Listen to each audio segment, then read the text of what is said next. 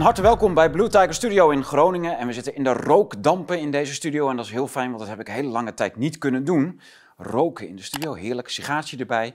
Uh, dat zijn oude tijden, want dat deden we bijvoorbeeld ook met Riepke Zelmaker, die u kent van bijvoorbeeld deze epoch, over de SDG's. En dat komt heel goed uit. Deze epoch die ging over alle SDG's, maar met name omdat u destijds vroeg van, kunnen jullie niet eens even heel kort, heel beknopt, al die SDG's op een rijtje zetten?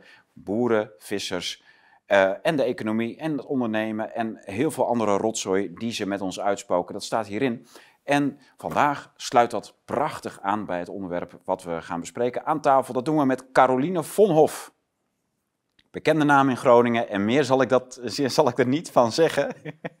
Heel fijn dat je hier bent, uit het Amsterdamse, terug in Groningen. Ja, ja leuk. Um, wij gaan het dus hebben over de visserij. Ja, ook. Ja, wij, um, er zingt al een paar weken of een week eigenlijk in de WhatsApp-groepen een prachtige brief van vissers rond. Prachtig in de zin van uh, heel uh, ja, vol actie, maar het onderwerp is minder uh, leuk. Nee, het onderwerp is, is verschrikkelijk niet leuk. Ja, maar daar hebben we dus in de studio de afgelopen jaren regelmatig aandacht aan besteed, ook met vissers aan tafel. Toen kwamen we er ook wel achter dat de vissers zelf niet helemaal vrij zijn om te zeggen wat ze willen zeggen, of niet kunnen zeggen wat ze willen zeggen. maar dat ben jij wel. En dat is heel fijn. Daar gaan we dus zometeen mee uh, ja, gaan we over praten, over de vissers en de hele penibele situatie waar ze in verkeren. Dat is toch iets anders dan bij de boeren. En je kunt heel goed en duidelijk zien wat de agenda is die er met de boeren moet gebeuren. Aan de hand van wat er met de vissers al is gebeurd. Dus daar gaan we zo over praten. We gaan natuurlijk even beginnen met de nieuwe titels die net zijn verschenen. Want het is natuurlijk wel zo dat zonder boeken kan Blue Studio niet draaien. Koopt u deze boeken, dan steunt u ook het werk in de studio. En dat is een Nederlands boek en een Duits boek. Dus na Game Over, onze Duitse bestseller die vorig jaar fantastisch gelopen heeft in Duitsland en Nederland en Zwitserland en Oostenrijk en nog zo'n paar landen, is er nu een nieuw boek, Auswandern oder Standhalten, Politisches Exil oder Widerstand. En dat is een boek van maar liefst om en nabij 25 auteurs die allemaal vertellen waarom ze ofwel uh, emigreren, ofwel gewoon in Duitsland of Nederland blijven wonen. Onder meer Karel van Wolveren en ik uh, spreken over de Nederlandse situatie, maar er zijn ook heel veel Duitse auteurs die geïnterviewd worden of zelf schrijven waarom ze weggaan naar bijvoorbeeld Zweden, Denemarken, Oostenrijk, Canada, Paraguay, Bulgarije, Rusland, Chili, Polen, nog heel veel, nog een paar Paraguay, Laos, Zwitserland, Scandinavië, Spanje, nou ja, en dan de laatste twee zijn Karel van Wolver en ik. Waarom we in Nederland blijven en niet gaan emigreren. En dat is natuurlijk heel leuk. Ik heb daar uh, al inmiddels al een compliment over mijn eigen stuk uh, mogen ontvangen. En dat stuk dat heet Waarom eine Verbannung ohne Emigration slim genoeg is. Dus ja, ik voel me eigenlijk al een verbannene in Nederland. Dus de vraag is waarom zou ik me nog eens dubbel laten verbannen naar een ander land. Dat in het Duits. Uh, nou, Game Over heeft u ook massaal in het Duits gelezen als Nederlandse kijkers. Dus dan kunt ook deze daar rustig aan toevoegen. Dat is een leuk boek. Dat is dus de Duitse titel die is verschenen. De Nederlandse is van onze huisauteur Robert Lem. Desengaño. De wereld is niet voor verbetering vatbaar. Desengaño is een bijna onvertaalbare term uit het Spaans. Mm, en dat betekent ongeveer ontwanen ja, de waan te boven komen. Dus, dus de idee dat je de wereld kan verbeteren, dat is een soort waanidee en daarvan moet je ontwanen. Nou, daar is onze huisauteur Robert Lem, eveneens uit Amsterdam, heel erg goed in. En die doet dat met een keur aan, uh, aan wereldschrijvers, wereldliteratuur, voornamelijk van de Spaanstalige kant, maar ook uh, breder dan dat, Franstalig ook. En die presenteert dat allemaal voor u in een soort prachtige collegereeks in één boek. Uh, ja, dan weet u waarom de wereld niet voor verbetering vatbaar is. Maar u wel. Hij laat dus zien dat u wel voor verbetering vatbaar bent. Want verbeteren kan alleen de mens zichzelf of uh, het individu.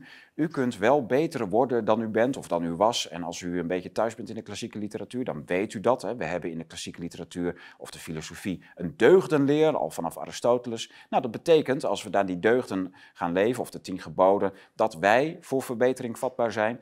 En uh, dat u een project met uzelf aan de, aan de slag kan. Nou, dat is natuurlijk een prachtige mix. Dus ontnuchteren van de wereld en nuchterder worden met uzelf, dat is eigenlijk het boek van Robert Lem in een notendop. En het is ook weer een prachtig werk van uh, eh, 300 bladzijden.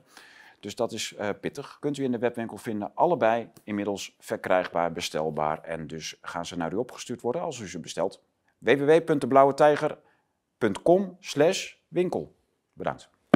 Nou, Caroline, dat was een hele lange boekenbreek voor mijn doen. De, ja. de commercie wil wat. Ja, en Je, je, prijst ook je eigen verhaal aan, dus dat is mooi. Ja, nou, dan moet ik eigenlijk nu mijn mond houden. nou, dat, dat, heb ik niet gezegd. Hmm. Maar ik heb er ook over nagedacht. Ik ben ook in Nieuw-Zeeland wezen kijken ooit en in Chili. Ah, om te weg te gaan, te emigreren. Ja, maar al twintig jaar geleden bijna. En denk, ja, het is toch... Je bent nog hier. Ja, dus kennelijk is het er niet van gekomen. Omdat je toch... Uh, ja, waarom zou ik opsodemieteren? Omdat een ander mijn land uh, ja. besodemietert. Ja. ja, en is het elders echt beter? Hè, de, ja, dat, dat is natuurlijk ook de vraag. Dus ja, in mijn stuk ga ik dat allemaal bij langs. De, hè, waarom ik niet uh, ga emigreren of me niet laat verbannen. Dus mijn eindconclusie, dat kan ik wel verklappen, is dat ik... Uh, blijf, want jij bent heel... Ja, blijf, maar ook dat ik hè, voor een oorlog nog op de vlucht... Als, als het leven in het geding is, dan zal ik misschien in de, op de vlucht slaan. Maar dat doe je alleen in de hoop om weer terug te keren. Hè, dat, ik, dat ik weer nadat het gevaar geweken is, dat je weer terug kan met je kinderen, of met je vrouw en kinderen. En, en dat je niet zomaar je geboortegrond prijsgeeft en de, en de geschiedenis die je van, van je voorouders eigenlijk al hier in de grond verzonken ligt. Ja. ja dat, dat, is, dat is mijn eindconclusie. Maar ja, goed, er zijn veel meer je kan beter. Het is ook wel handig als je mensen echt verstaat en begrijpt. Hè? Ook, precies. Ik heb een tijdje ook elders gewoond en dan merk je eh, dat je een aantal lachen kan je veel beter met Nederlanders. Niet omdat er nou met Nederlanders zoveel te lachen is, maar omdat je dezelfde referenties hebt. Dus het is heel moeilijk om internationaal te lachen, om maar eens iets te noemen. Ja, leer maar eens in het Hongaars je humor kwijt te kunnen. Dat is, dat is echt heel lastig. Daar ga je toch weer twintig jaar over doen. Nou, dan ben ik, uh, dan ben ik al op driekwart van mijn leven. Ja, wil ik dat? Nou, ik kan je vertellen, met de Hongaars ben je nog wel langer bezig. Nee, dat zou Heel not John Kutcher maar daar houdt het wel een beetje meer op. Dat versta ik niet. Goed, ik we zijn een beetje Hongaars. Uh, ja, maar dat is interessant. Dus jij hebt al uh, ook die, die opties wel onderzocht. Ja. ja. En ik heb ook vrienden die het gedaan hebben, die het goed bevalt. De, in Nieuw-Zeeland? Nee, Nieuw-Zeeland vond ik een beetje, vonden we alle drie wat te saai. Ja. Te Engels. Oké. En het is te mooi ook. Ja? Ja, iets kan ook te mooi zijn. Als er niks lelijks is, is het kitsch bijna. Alsof je door een aanzicht rijdt. Mooi, ja, mooi gezegd. En uh, dus Chili zit die. En die heeft zijn rafelrandjes en zo. Ja. En ik ben wel blij voor ze dat ze daar de afgelopen jaren niet met die Arden gezeten hebben. Nou, inderdaad, ja. Joh. Ja. Dat is, eh, dat is helemaal dramatisch. Uh, je hebt, uh, een, sinds jij besloten hebt om in Nederland te blijven, ben je ook niet bij de pakken neer gaan zitten. Want je bent heel actief geweest de laatste jaren op heel veel vlakken. rond allerlei dingen die we niet mogen noemen, want anders gaat de video eraf. Um, maar uh, ja, wel alsof ik ja, die, die video die, die wordt door YouTube. dingen gedaan. Nou, nee, niet eens. Maar er zijn bepaalde dingen die we niet mogen zeggen, anders dan kan die niet op YouTube blijven nou, staan. Ik kan wel zeggen dat ik geprobeerd heb de Nederlandse rechtsorde overeind ja, nou, te dat is goed gezegd. Ja. Door middel van uh, juridische procedures en toetsen. Jij ligt bijvoorbeeld aan de basis van het koffiedrinken op het Museumplein. Ook, ja. Ja. Uh, en zo zijn er nog wel wat zaken. Je, hebt, je bent jurist van huis uit. Je, je vader is een bekende Nederlander geweest. Mogen het verder, zullen we het verder niet over hebben? Mijn moeder ook. Oh, kijk, dat wist ik dus niet. Ja. Nee. Nou ja, de, uh, interessant. Dus mensen kunnen dat nagaan. Uh, en ik ben zelf gemeenteraadslid in Amsterdam geweest. Precies. En uh, het fijne of het leuke van jou is, aan, waarom je ook hier zit. Je hebt je begincarrière bij het ministerie van Landbouw en Natuur en Visserij. Maar ja, toen was dat wel... nu. Toen was dat alleen landbouw en visserij zeker. En voedselzekerheid. Kijk, ja. ja. En het was wel de jaren dat de directies van natuur- en faunabeheer erbij kwamen. Zo. En ik heb dus veel voor de vogelrichtlijn en de habitatrichtlijn.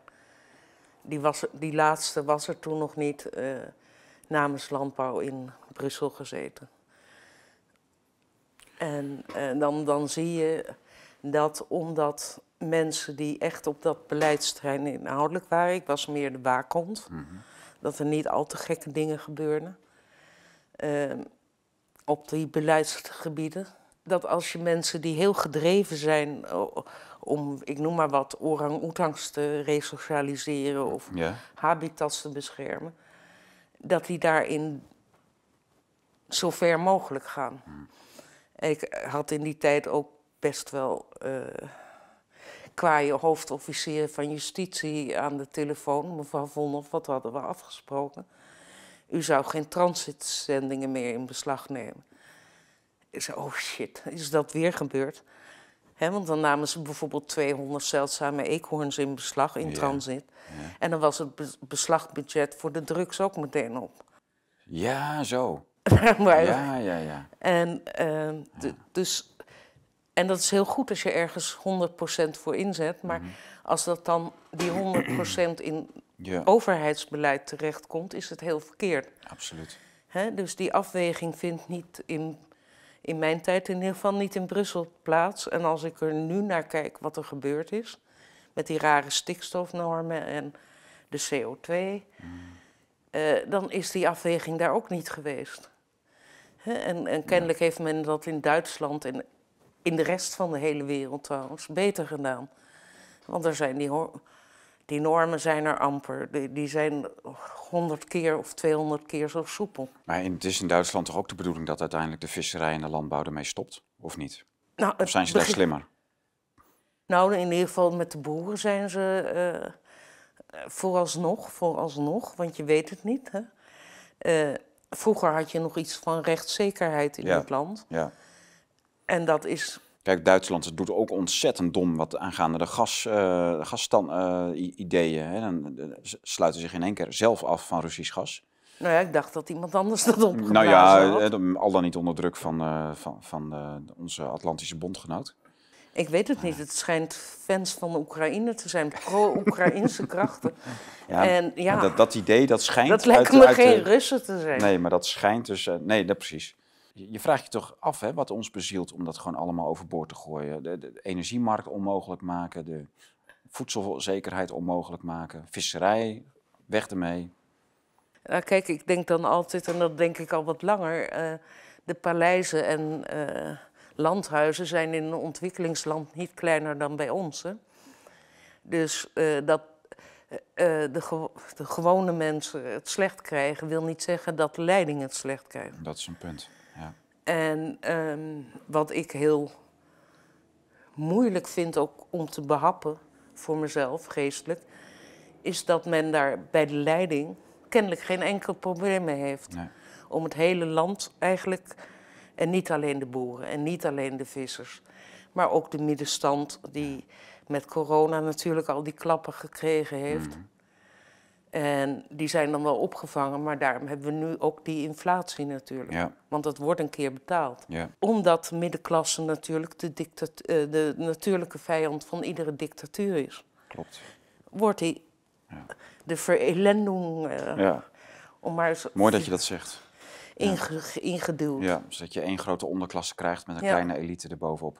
Ja, maar goed, hè, we gaan het specifiek hebben over die brief die de, eh, ik denk dat alleen de kleine visserij heeft eh, Nee. opgesteld. Of de visserij in zijn geheel. Eh, zo- Zowat in, ik geloof niet dat de trollers meedoen, Nee, daarom. Kijk, maar, wel de ja. grote kotters. Ja, en want de- dat, dat is natuurlijk belangrijk. We hebben hier in het begin van de studio tijd hebben we veel over visserij gedaan. En daar hebben we met z'n allen mogen leren dat, ehm, wat het meeste voor het voetlicht komt zijn de garnalenvissers en de, en de kustvaart, dus de, de, de platvis. Maar dat dat eigenlijk financieel gezien is dat een fractie van de markt. Want de groot, het, het gros van, het, eh, pr- van de omzet in de visserij is diepzeevissen. Dat zijn de hektrollers. ja, En die zijn eigenlijk in handen van één grote rederij. Eh, Je, je kunt daar een beetje, ja, maar hè, dus eigenlijk is dat Parlevliet van de Plas. Ehm, en je dan heb je, het, gij zegt ja, dat is nog een, je hebt nog Van der Zwan. En, eh, je- maar dat, eigenlijk is dat gewoon een monopolietje waarvan we, eh, nou ja, we hebben een van de telgen van Parlevliet hier gehad die dat verteld heeft. Dus vooral terugkijken naar de oudere uitzendingen van de Blue Tiger Studio dan. Voor degene die dat wil, die, die kan dat terugzien. En dat, dat, was, dat was al iets heel raars. Maar de laatste zelfstandige vissers van Nederland zijn inderdaad dus de garnalenvissers. De, de, de school- en platvisvisserij. Ja, visserij. En er zijn ook nog wat grotere, kleinere Ja. kotters die weer Ja. op... Ja.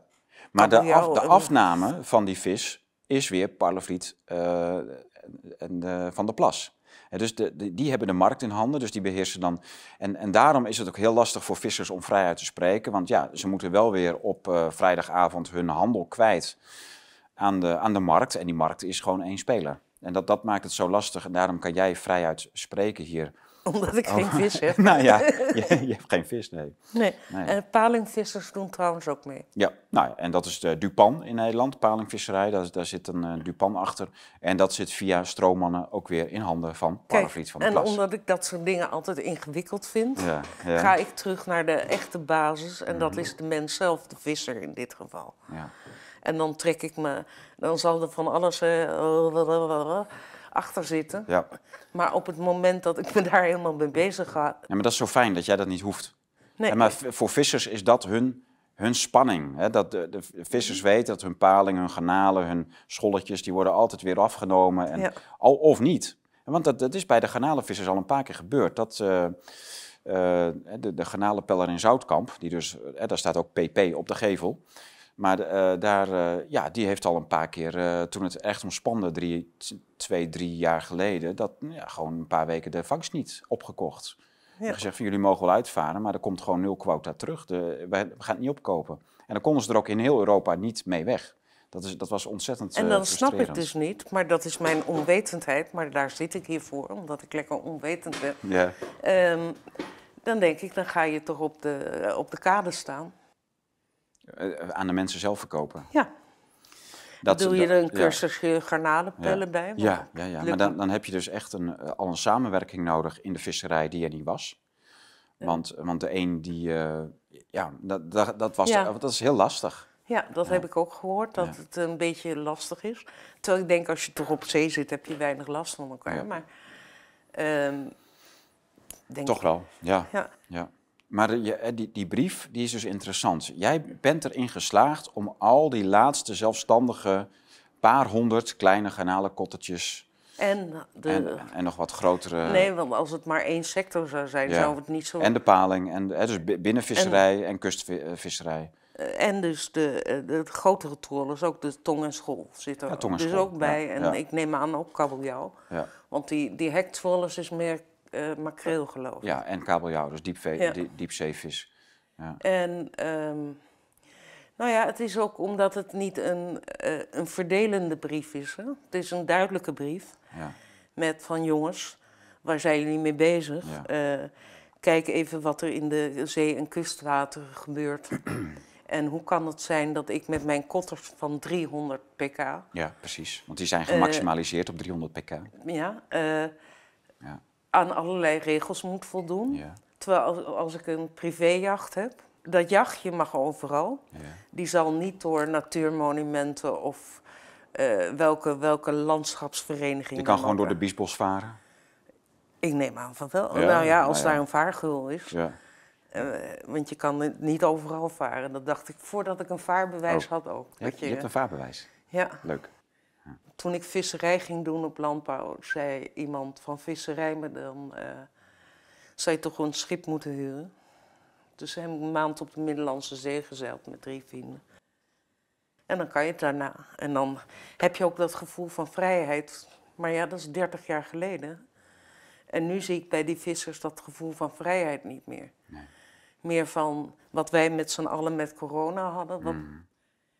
Hoe, er komt een persconferentie aan. Wat ja. hangt ons nu weer boven het hoofd? Ja.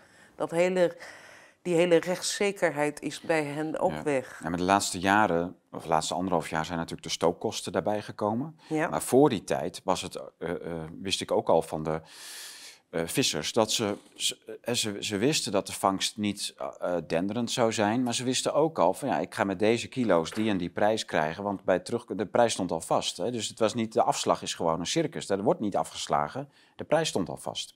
Mm -hmm. En uh, dan weet je gewoon dat je onderaan de streep heel weinig gaat overhouden. Er zijn wel een paar goede jaren, zo nu en dan, maar die moeten al die slechte jaren ook maar weer compenseren. Ja. En dan is dan, nu die, zijn die stookkosten erbij gekomen die waanzinnig zijn. Dat, schepen zijn gewoon niet meer uitgevaren. Ook. Dat, dat moet jij ook weten, denk ik. Dat, ja. ja. En ik herinner me van, van uh, 30 jaar geleden. Ik ben toen overgestapt naar de advocatuur en ook voor de vissers, de advocatuur. Dat het toen heel anders was. Nou ja, vert- vertel eens. Ja, nou, anders? veel vrijer en veel rijker natuurlijk. Ik zei dan als we de rechtszaal ingingen, jongens, als we een kniertje gaan doen, even dat goud onder je, onder je jas. Hè, maar, en de- zo is het absoluut niet meer. Nee. En de mensen zijn natuurlijk, die zitten hier al, denk ik, der, ik ben er dus een hele tijd niet bij geweest, maar 30 jaar. Iedere dag maar weer iets nieuws, iets anders.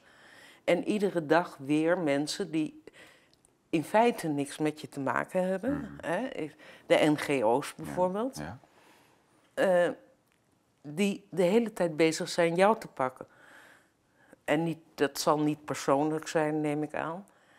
Maar het pakt wel zo uit. Ja. Hè? Nou ja, dit zijn, het zijn verlengstukken van de overheid die als een soort eh, ongrijpbaar, eh, ongrijpbare armen van die overheid die vissers eh, he- hebben klem zitten. Ja, Ja, en ik begrijp werkelijk niet, en ik denk dat heel veel donateurs dat ook niet weten, dat hun donaties gebruikt worden. Niet zozeer om eh, de natuur te beschermen, want als die clubs dat deden, s- hè, ik ben net hier vanuit Amsterdam naar, heen komen rijden.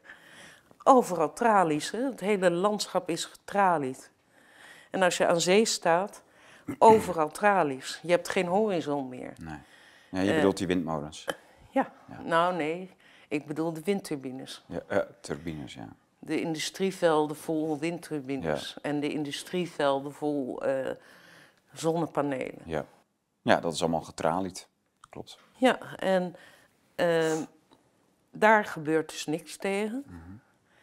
Tegen de containerschepen, ik zeg helemaal niet dat die weg moeten. Eh, ik zeg ook niet dat eh Rijkswaterstaat moet ophouden met, met baggeren of ontgronden of weet ik veel wat ze allemaal doen. Ja. Eh, dat zeg ik allemaal niet, want ik ben niet zo van, ah, heb ik de macht niet. Dat is al een goede, goede reden natuurlijk. Ja, maar je komt dit hele dossier binnen van, vanuit VVD-hoek. Dus dat, dat, nou daar, ja, daar dat werd niet zo. Daar werd nooit, geleden. ja, maar daar werd nooit natuurlijk echt geageerd tegen het verstoken van diesel en, en benzine. Dat Ja, dat is waar, maar dat was niet, ja, mooie tijden. En, dat is niet echt een eh, heel klassiek probleem van de VVD. Nu nee. wel, maar eh, nou ja, je bent er ook niet per se voor, want waarom zou je het doen als het niet nodig is? Moet ik van de VVD nog zeggen? Dat is echt. Ik heb het verkiezingsprogramma nog eens gelezen, eh, anderhalf, twee jaar geleden alweer. Ik denk, Mao zou er jaloers op zijn. De overheid wil een grotere rol spelen in de economie op pagina 1. Ja. Ik denk, pardon? Hè, het is, alles is op zijn kop gezet in Nederland. En dat kan, ik, kan je de VVD noemen, omdat ik daar misschien eh, gemeenteraadslid voor geweest ben. Eens wat. je zei in het begin zelf dat je gemeenteraadslid bent geweest, dus dan mag ik dat ook zeggen, denk ik. Ja. Ja. En ehm, Schaam je je ervoor? Nee, toch? nee, Nee. nee. Toen, Eh, toen was het nog een redelijk fatsoenlijke partij. Nou, het was een fatsoenlijke partij. Ja. En eh, Gezellige partij ook. ja, Ja. gay, Dixieland. Wat, Ja. Maar eh, men had nog een begrip van mijn en dijn. En dat is helemaal weg. Eh, hè, eh, Ja. Ja, het was de, de partij van de ondernemers, middenklasse. middenklasse, ja. En de grote ondernemers zaten dan bij het CDA, Ja, ja, precies. met name. Ja. En nu, ja, ik weet het niet. De ene multinational na de andere ontvlucht het land. Ja, dat is toch zo? Ja. En dat betekent van alles en niks goeds en van alles Maar- slecht, ook maar- voor het algemene vestigingsklimaat. ja, maar dat betekent dat die multinationals belasting moeten gaan betalen op een gelijke wijze als de middenklasse dat moet doen. Of de, de, hè, de kleine MKB. En daarom Ja, dan zullen ze terugkomen. Ja, echt? nee, Oh, natuurlijk nee, niet. daarom. En, ehm, en dat kan ook met andere zaken te maken hebben. Onduidelijke contracten die ze afgesloten zijn. eh, Met niet nader te noemen fabrikanten en Ja, dat ja. soort dingen. ja. Even terug, want ik kwam op via die visserij hierop. ja. Maar de, de, de wereld van de visserij, jij kent die vanuit jouw ambtenarentijd. En vanuit mijn advocatuurtijd. Ja. Toen kreeg ik nog wel eens een visje. Daarvoor Ah, echt niet, Nee, hè? nee, Daarvoor nee. echt niet. Maar dat is ook lang geleden dat ik in die visserij... Daarna ben ik in Hongarije gaan wonen heb. Zo. Doet er allemaal niet toe. Dus ik kende het van vroeger. En ik ben in Ik de Burger begonnen. Dat is een website waar je... eh, Een aantal ma- maanden terug. ja, eind december. Ja, Omdat toen de verhoging van de energiebelasting eraan ja, kwam. ja. En dat, daar zitten een paar hele leuke acties aan vast. Want de, Koen Verhagen is daar, volgens mij, eh, doet daar werk voor. Ja, Die heeft een paar van die prachtige affiche-campagnes ge- Gemaakt. gemaakt voor Ik de Burger. Dus de mensen kunnen de, de website inmiddels kennen. ja. Een paar maanden, de, de- vier maanden. Nee, nee, nee, eind december. Oh, Ik heb echt een beetje Drie, ja, doorgedrukt, want ik wilde het verbod op heffen belasting voor 1 januari hebben. Dus een aantal mensen, eh, waaronder ik, hebben dus gewoon de Belastingdienst geschreven. eh, jongens, vergeet het maar. Ik, ik heb u wel geschreven, eh, ik ga geen belasting over energie betalen. En het energiebedrijf ook geschreven, ehm, ik ga voortaan netto betalen. geen belasting. Komt daar antwoord op? We hebben één antwoord gehad van de Belastingdienst. U kunt geen bezwaar maken. Maar ik denk, ik heb geen bezwaar gemaakt. Ik heb een mededeling gedaan. Ja. Eh, ik vind dat je in iets strengere toon zo langzamerhand tegen de overheid mag aanslaan. En, ehm, want dat wordt geheven bij de energiemensen. Dat is dus een hele verrassing voor mij, was dat. Dat je dus wel belasting moet betalen, maar geen bezwaar kan maken tegen de aanslag, omdat dat via het energiebedrijf loopt. Dus daar heb ik in ieder geval iets van geleerd en we zien wel. Ja. Ja, het- Het is ook iets wat je alleen moet doen als je durft. Ja.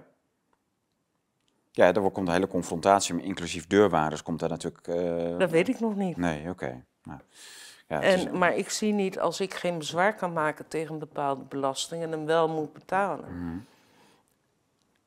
Waar dat op slaat, Ja. eerlijk gezegd. ja. En, en vanuit dat initiatief Ik de Burger komt ook deze steun voor de, voor de vissers Ja. eh, Ja, hier vandaan. Ja. want eh, de, de kottervisserij met name, daar hebben we een brief over geschreven naar eh, het kabinet. Ja. ergens in januari, denk ik. Hè, er is allerlei EU-geld. Dat hebben wij dus al betaald, en Ja. waarschijnlijk al honderd keer. Voor de eh, visserij, voor de brandstofsteun, voor Ja. de Dat Eh, hebben ze allemaal gehad, ja. ombouw en dit en dat. Ja, ja. Nee, dat is nog niet allemaal. Mm. Dat hebben ze allemaal niet gehad. Dus dat moet nu komen voor de. Oh, en die, terwijl die, die boten allemaal afgebroken worden. Ja, Ja. het is heel treurig om te zien. Ja. Eh, als je daar. gewoon goede schepen nog, hè? Ja, ja dat is heel treurig, ja. Dus de, doen, eh, die eh, EMK, Eendra, Eendracht maakt kracht, heet, is dat Ja, geloof ik, zo'n visserijinitiatief. Die heeft wat eh, foto's gedeeld van een boot die naar de sloop gaat en wat er uiteindelijk overblijft, na sloop. Ja, dat is heel treurig. Dat is een, eh, Nee, maar het is ook kapitaal. Dit is Ja. gewoon, wat ik Ja. zeg, opzettelijke verelending. Hè? ja, je vernietigt economische infrastructuur. Ja. Maar ja, daar zijn ze al de hele tijd mee bezig. En dat past mooi in die doelen die, die, waarvan iedereen zegt dat het een conspiracy is. Maar het zijn gewoon VN-stukken. Daarom. Ja. En eh, jaren geleden, al, toen het nog Agenda 21 heette, ja. zei ik ook wel, ja, maar dit is, ze schrijven het op. De Nederlandse overheid committeert zich daaraan. Je Ja. hoort er niks over. Je Maar als kan je er van over. zegt, dan ben je een samenswering, een Ja. complotdenker. Ja. Ik zeg, dit is, dit is het. En dat, dat vind ik heel gek, dat je op die manier in die werkelijkheden terechtkomt. En ik ga weer even weg van de visserij en terug naar eh, ik, de burger. Van, wat wil ik daar nou mee? Mensen zijn gewoon vergeten dat zij hun eigen baas zijn. En dat de overheid niet hun baas is. Ja. ja, je hebt hele goede ideeën, de- principieel nagedacht over wat een, eh, hoe je als kiezer in een democratie omgaat met je stem en hoe je als afgevaardigde omgaat met stemmers, stemmen van, eh, van de kiezers. Nou, kijk, een mandaat is iets anders dan een kiezersmandaat. Hè? Een mandaat is, kan je iedere dag geven en intrekken. Dat, dat is niet mogelijk. Jawel. Oké. Oh. Waarom, waarom zou dat niet mogelijk zijn? Nou ja, hoe, hoe, zit dat met, hoe is dat precies in de grondwet geregeld dan? Dat, dat wij. eh, De grondwet bevestigt onze rechten. Die verleent ze niet. Hè? nee.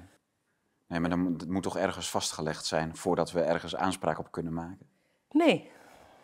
Dat is eh, het mooie van uh, ons rechtssysteem. Ja, ja ik ben, ben benieuwd. Ga verder. Uh, de, de, de staat wordt in Nederland gelegitimeerd door de gratie gods.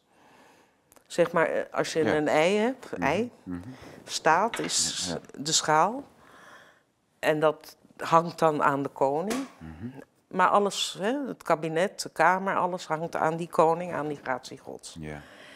En als je daarbinnen politieke macht wil verwerven, dan doe je dat door middel van verkiezingen. Mm. Dat is de officiële gang. Ja. En dan ga ik stemmen op Piet, want Piet heeft mij beloofd dat hij X, Y en Z zal ja. doen. Ja. Piet doet dat vervolgens niet. En, dan, en Piet gaat ook nog eens met mijn mandaat op de loop. Want, je gaat allerlei dingen doen waarvoor hij niet ja, gemandateerd is. Precies. Ja. Dat zie je. Hè? Breng de, vissers om zeep. Mhm. Heeft daar iemand voor gestemd? Jaagt de boeren het land Een uit? paar mensen die op GroenLinks gestemd hebben misschien. Ja, maar er zijn er niet zoveel. Hè? Nee. Die zullen zo langzamerhand toch ook wel eens wakker worden. En, en de andere Met al die bomen die gekapt ja, maar de, worden. de andere partijen zullen zeggen, ja, de voorgaande kabinetten hebben al getekend, internationale verdragen. Nee, en die verdragen gaan boven dat de zijn grond, dan- grondwet. Kijk, wat is een mandaat? Dat Mhm. is een vertegenwoordigingsbevoegdheid. Op het moment dat ik jou mandaat geef om iets te doen, namens mij, dan moet ik die bevoegdheid hebben. Als ik niet bevoegd ben, kan ik jou geen toestemming geven om het wel te doen. Mhm. En welke bevoegdheid hebben zij wel die jij niet hebt? Zij hebben natuurlijk geen bevoegdheid die ik niet heb. Ja, maar dat, we zien nu dat dat niet Nee, in de praktijk maar dan niet zo zijn is. ze nog niet bevoegd. Dan zijn ze dus onbevoegd. Ja. Om dingen te doen die ze gedaan hebben. Ja, Dus ze hebben heel veel dingen onbevoegd gedaan. ja in mijn ogen wel. Ja, ja. We worden geregeerd bij ambtsmisdrijf. Dat vind ik een heel interessant punt. Ja, Ja. als zij niet bevoegd zijn, als je de bevoegdheid ontbreekt, maak je dus misbruik van het gezag dat je hebt, niet van een bevoegdheid. Mhm. Dan zou een détournement de pouvoir zijn. Ja, Maar als er geen pouvoir is, is er ook geen détournement. ja. Dus het gezag dat je hebt als minister, als Kamerlid, als burgemeester, noem maar op, Ja. Dat misbruik je dan. Maar nou is er in de jaren negentig een keer een, eh, een uitspraak geweest. En sindsdien zijn ambtenaren hoofdelijk niet meer aansprakelijk voor, voor wat ze doen. Ja, de pikmeer. Pikmeerarrest. Leuk hè? Leuk woord. Ja, wat, wat weet jij daarvan? Is dat zo? En eh, wat doen wij er tegen als dat zo is? Ja, dan ga ik toch naar Sol Alinsky, make it personal en make it stick. Het is natuurlijk, kan niet zo zijn dat als jij als ambtenaar je, je misdraagt of buiten je bevoegdheden treedt, dat je er niks aan kan doen. Ja. Maar dat is, en dat systeem vind ik aan zich niet gek, dat je als politiek verantwoordelijke dan er iets Ja. aan moet doen. Oké, Maar ja, dat gebeurt dus ook niet. nee. Maar je hebt dus nu eigenlijk een soort situatie waarin... Wij rechteloos zijn. Ja, am- ja, burgers zijn rechteloos, ambtenaren zijn hoofdelijk niet meer aansprakelijk. En de gerechtelijke macht eh, bevestigt dat dus met dat pikmeerarrest. De- dus die is nu medeplichtig aan die eh, ja, staat van, van wetteloosheid eigenlijk. Rechteloosheid. Rechteloosheid. Wetten ja. hebben we genoeg. Ja, heel veel. veel te veel. ja. Ja. ja. Rechteloosheid, hè? goeie. Ja, je bent scherp, eh Carolien. Oh, dank je. Ja, Had je niet gedacht, hè? nee. Nee, Oh. zeker niet. oh, zegt hij ook nog. Dat had jij niet verwacht. Nee, dat had ik weer niet Nee, nee. gedacht. Ja. Waar het om gaat is dat men inderdaad... Ik heb je ook dat stukje wet en bevel in Nederland gestuurd. Wetten zijn, die hoef je niet te geven, hè? die zijn er al. Ja, kijk, ze, ze worden vastgelegd uiteindelijk. Vastgelegd. Maar dat en betekent niet dat, dat alle wetten die vastgelegd zijn, eh, Wetten zijn. wetten zijn. dat zijn Eh, en ook niet dat het alle vastgelegde wetten alle wetten zijn. En dus er zijn, waar, waar jij nu ook al aan raakte, is dat er dus ook ongeschreven wetten zijn waar vastgelegde wetten uit voortkomen. Nou, neem het wetboek van Ja, strafrecht. maar dat, dat idee van mandaat, dat is heel sterk gefu- Ja. gefundeerd in het idee dat er een voorpolitieke en een voorjuridische werkelijkheid bestaat, Ja. waar wetten en gebruiken uit voortkomen. Ja, en ik kan dat met een, zelfs met een vrij simpel voorbeeld illustreren. Neem het wetboek van strafrecht. Heb je wel eens ingekeken? Nee, nee, is te dik. Die lees ik. eh, ja. Nou, dat is best. Ik vind de Bijbel al dik. eh, Het is dunner. Oh, oh het echt? wetboek van Echt strafrecht Oh, is dunner. Dat is het burgerlijk wetboek, dat is dik. Of ja, niet? dat is Ja. dikker. Maar dat is ook een echte wet. En dan zie je dus, is het in Nederland verboden om een moord te plegen? Ja, zou ik zeggen van wel. Ja, dat is niet zo. Nee? Het is strafbaar, maar niet verboden. Omdat het elders al verboden is. Kijk, oké. En een wet, hè, dat, dat is mijn onderscheid tussen een wet en een bevel. Een echte wet, die verwoordt een maatschappelijk waarheid, een samenlevingswaarheid. Ge- eh, degene die eh, de fiets steelt, wordt gestraft met een gevangenisstraf van. Of niet eens steelt, wegneemt. ja. vermoord je iemand, dan kan het levenslang worden. Eh, Maar dat is dus niet verboden. Ander, Dat is die gratie gods weer. Hè? Gij zult niet doden. Dus daar komt het dan vandaan. En ehm, al die andere dingen die ze opschrijven, die gieten ze wel in de vorm van een wet. Gij zult geen stikstof uitstoten. Gij zult Ik stoot nog even wat stikstof af. Hoor. eigenlijk. Ja, gij zult geen CO2, eh, weet ik veel wat. En u zult niet dit en u zult niet dat. Dat zijn gewoon middeleeuwse bevelen. Hè? Die Nou, ja, ik vind het despotisch of totalitair. Ja, en je hebt het met de afge... Mag ik nog coronatijd zeggen? Of Dat, eh, ik denk dat dat net mag van YouTube. je hebt gezien met... U legt uw bedrijf stil. Pardon, het is toch mijn bedrijf? Ja. En ik mag toch mijn eigen risicoafweging maken. En ik weet toch beter wat er in mijn bedrijf leeft dan u dat weet. Want u weet van niks. Dat zijn bevelen. Zet een mondkapje op. Nou, dat was wel het meest grove bevel, geloof ik. En ga s'avonds thuis zitten. Die avondklok vond ik ook erg. Ja, maar dat mondkapje was heel erg. eh, Ja. Ik, heb, ik heb dat ook niet in de buurt van een eh, gezicht gehad ooit. nee, En eh, dat is een slavenmasker. klopt. Dus ik vond het wel dat je het inzichtelijk maakte, maar ehm, dat zijn bevelen. Ja. Breng vanavond je maagdelijke dochter bij de landheer. Is ook een bevel. Ja. Dat En is, eh, ja, nee, oh, dat, daar, daar is een naam voor. Dat heeft een. eh, een, feodalisme. een jus, een jus primus is dat. Dat is een Latijnse term voor de. Ja, de, de, Dat- de eerste nacht. Ja, En, ehm, maar het, het, het gaat mij niet zozeer om die eerste nacht. Ja. Of lever je oogst in. Hè, maar ik geloof dat je als horige 20% van je oogst inleverde. En als Nederlandse belastingbetaler 90. ja, Ja, Ja. als je het allemaal bij elkaar optelt. Precies. En belastingen op belastingen. En het ongeziene wat niet gerealiseerd wordt. Omdat eh, alle energie gaat zitten in werken voor de belastingen. Ja. werken voor de overheid eh, als een soort gegijzelde.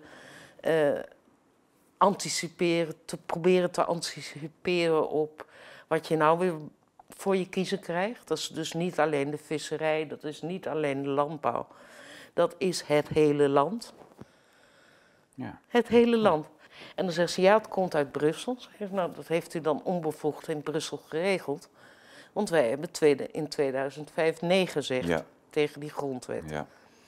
En dat ging niet om het volkslied of het vlaggetje of de toeters of weet ik wat was het, de derde. Daar ging het niet om. Het ging om de doodstraf, het ging om het Europese leger, het ging om, de, het ging om alles.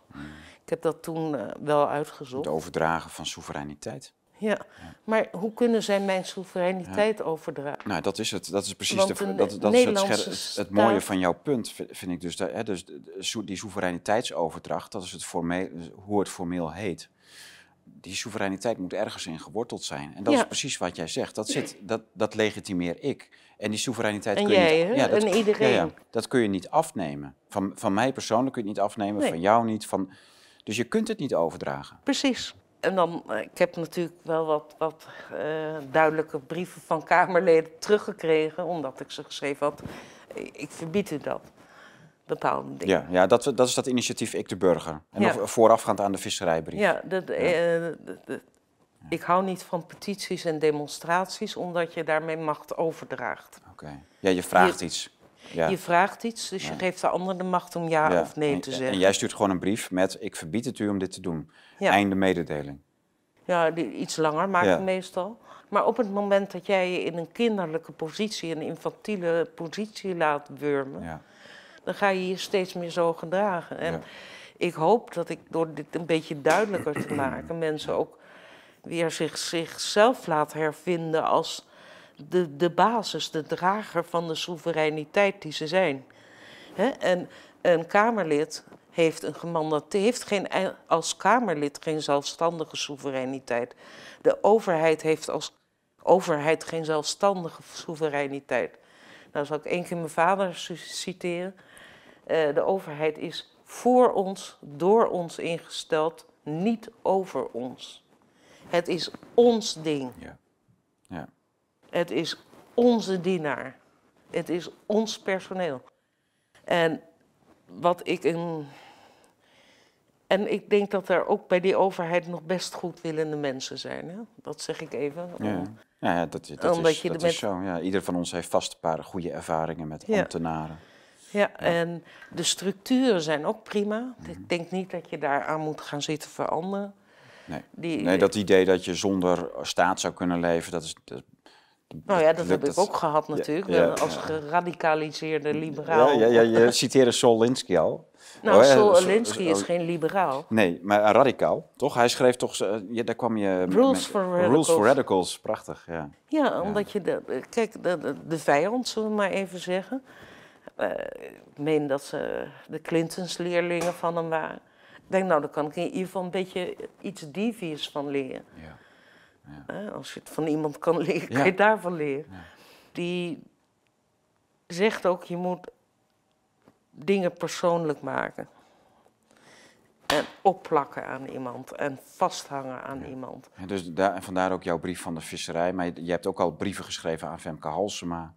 Voor de Ja. mondkapjes. Dat heeft resultaat gehad. Dat denk ik. Ja, Ja, je kan het ja. niet bewijzen. Nee. Zeggen mensen altijd, je kan het niet bewijzen. Dan zeg ik altijd, wat is er verder dan gebeurd? Mhm. En, ehm, en mensen... Ik denk ook bijvoorbeeld dat eh, mevrouw Halsema dat niet wist. Dat je geen wetenschappelijke en sociale experimenten op bevolking mag. Kan ze zomaar niet geweten hebben. Ja. Stel je voor dat je, dat, je, dat je niet weet dat je geen sociale en medische experimenten op een volk mag. eh, Nou ja, kennelijk weet de. Nederlandse overheid dat niet meer. ja, nee, nee dat- nou, ja. Of ze, of ze, uiteraard, iedereen weet dat toch, dat je dat gewoon niet, niet doet en toch doen ze het. Ja. En daarom kan je dus ook nee zeggen. Mhm. Wat u niet mag, kan ik je verbieden als je het toch doet. Ja. Je claimt je soevereiniteit. Nou ja, kijk, stel je voor de burgemeester komt hier, de- van Aduard. Ja. En die zegt, Ton, eh, ik wil dit en dat met je. Dan zeg je, nou burgemeester, liever niet. Als je het niet wil. Ja, Laten we, laten we aanranden zeggen. oké. Zeg je, nou burgemeester, dat verbied ik u. En iedereen snapt dat jij dat kan verbieden. Ja, en vervolgens vaardigt hij een medisch experiment uit. Waarin Dan ben je, nee, dat, of een sociaal experiment. Ja. En dan wordt er hier aangebeld, staat de burgemeester op de stop. Ja. Dan, zeg je, dan mag jij zeggen, scheer je weg en ga Ja. van mijn land af. Ja, dan neemt hij een paar witte jassen mee en een paar eh, Ja. en blauwe, En blauwe uniformen. Ja, En eh, er komen wat spuiten aan te pas. Om, eh, Precies. En dan, gaat hij zijn gang. ben je als... Maar dat snapte iedereen dat dat niet mag. Ja. Waarom snappen ze dan niet dat het niet mag? Ja, omdat het ze volgens mij helemaal niets meer kan schelen. Dat weet ik niet. Want ik merk, we krijgen dan nu wel mailtjes. Mhm. En in een eerder bestaan heb ik ook wel mailtjes gehad van mensen die blij zijn dat je er bent en iets doet. Ja, En nu ook, het voelt goed om weer eens gewoon te zeggen: nee, tot hier en niet verder. Dat is mijn no passeran vertaling. ja, ja. En tot hier en niet verder. En, maar pas als mensen dat weer van zichzelf weten dat zij daarover gaan. En meneer Rutte onze, eh, ja, onze hoofdboekhouding is, of wat is het? En daar bakt hij ook niet veel van, moet ik zeggen. Want de, de miljarden vliegen, ja, die- ja, vliegen je om de oren en die zijn allemaal weg. Ja, En dat, dat kan allemaal maar. Ja. Maar ze zijn niet weg. Ik wil ook niet weten of ze weg zijn. Ik wil weten waar ze gebleven zijn. ja. Dat lijkt me veel interessanter, maar dat, dat lijkt ook niemand meer te Nee, interesseren. nee, je hebt gelijk. En dan denk ik, waarom betaal je dan nog belasting als het toch niet ten jouwe, ten behoeve van onze samenleving besteed wordt? Ja. Althans, niet aantoonbaar. Mhm. Maar wat je moet doen, als, vind ik, als mens, dat je de overheid weer onder controle neemt. En dat je dus zegt, ik, u mag dit niet. Ja. Ik, u kunt niet eens eh, intellectueel die bevoegdheid hebben die u zich aanmatigt. En wat ik bedoelde met dat persoonlijk maken, dus ik had mezelf even afgeleid met Saul Alinsky, is Ja, ja. pak de burgemeester of de wethouder of de whoever. Zeg, wat u nu doet is hier en daar om niet toegelaten. Ik verbied het u. Hè, zoals jij de burgemeester, als die hier met oneerbare bedoelingen op de stoep staat, ook zegt. Wegwezen. Ja. En meneer de burgemeester of mevrouw, u zult dat vast niet doen. Maar ja, maar zo werkt het dus. En zo werkt het dus ook jegens het kabinet, jegens de Kamer, jegens, jegens iedereen. Ja. Tenzij je zegt, eh, nou, we zijn allemaal slaven hier. Ja. Maar dan hoef ik ook de slavernij niet te herdenken. Vond ik toch al niet, maar Nee, ja, je herdenkt je eigen slavernij eigenlijk. ja, Ja. we vieren onze eigen slavernij. Bizar. Ja, bizar. Ja. Eh, maar dan komen we uiteindelijk eh, bij de, dat heeft geleid tot dat initiatief Ik de Burger. En toen kwam heel snel de visserij bij. Hoe ben jij erin geslaagd om, om die kustvaart... eh, Ja, dat weet ik eigenlijk niet. Nee. Nee, om- ja, Ja, door te zeggen, jongens, we gaan het gewoon doen. geheim van de smid. Eh, En we gaan naar de, de koning, want de minister had ik al geschreven Ja, over de garnalenvissers. ja, en over eh, de rol van de, natuur, van de NGO's, de natuurbeschermingsorganisaties. ja, En die heb ik in die brief, die staat ook op de site, dus dat kan je lezen. ja. Eh, ook de schijngestaltes van de overheid Ja. genoemd. Hè? Weet je wat heel interessant is aan die visserij nu? Die boten die worden dus opgekocht maar, eh, en die worden vernietigd. Maar dus op elke boot rust ook een ehm, Quotum. quotum. Visquotum. Je mag zus en zoveel van zoveel ton zoveel vis, eh, zoveel ton van die, zoveel ton van die. Ehm, en elke visser heeft dat, dat zit op zijn boot. Of, Ja. eh, eh, als je een grote rederij hebt, kun je ook swappen en zo. Van, van rederij naar rederij of van boot naar boot. Dat, dat kan. Moet wel allemaal aangemeld zijn, er is een keurig systeem voor. Maar dat quotumsysteem, quotasysteem, dat is internationaal geregeld. Dus in Europa wordt dat elk jaar opnieuw verdeeld. Krijgt elk land, Ja, dit, ja, dit land krijgt wel. zoveel quota, dat land zoveel. En dat mag dus gevangen worden. Daar zit waarde aan vast. Dat is, veel, dat is eigenlijk veel waardevoller dan die hele boot. De quota is duurder dan de boot. Dus het vertegenwoordigt een enorme waarde. En die visser die mag dus, die moet zijn quota ook inleveren. En nu is dus de vraag, kijk die boot die, die wordt eh, vernietigd.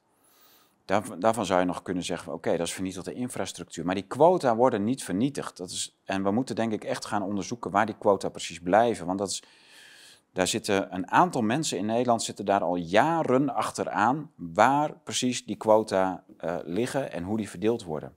En mijn gok is toch dat dit opnieuw een opzet is vanuit, de, vanuit die diepzee-trollerij, die, eh, die, die paar reders die waanzinnig veel miljarden omzet maken met die diepzeevisserij, eh, dat ze die quota voor de kustvaart ook, ook pakken. En kijk, dat zij op een gegeven moment gewoon weer bootjes gaan laten varen, want dat, dat, is, niet zo heel, veel- dat is niet zo duur, weet je? dat is allemaal niet zo... eh, maar waar blijven die quota? Wie, wie, wie zit te aanzen op die quota?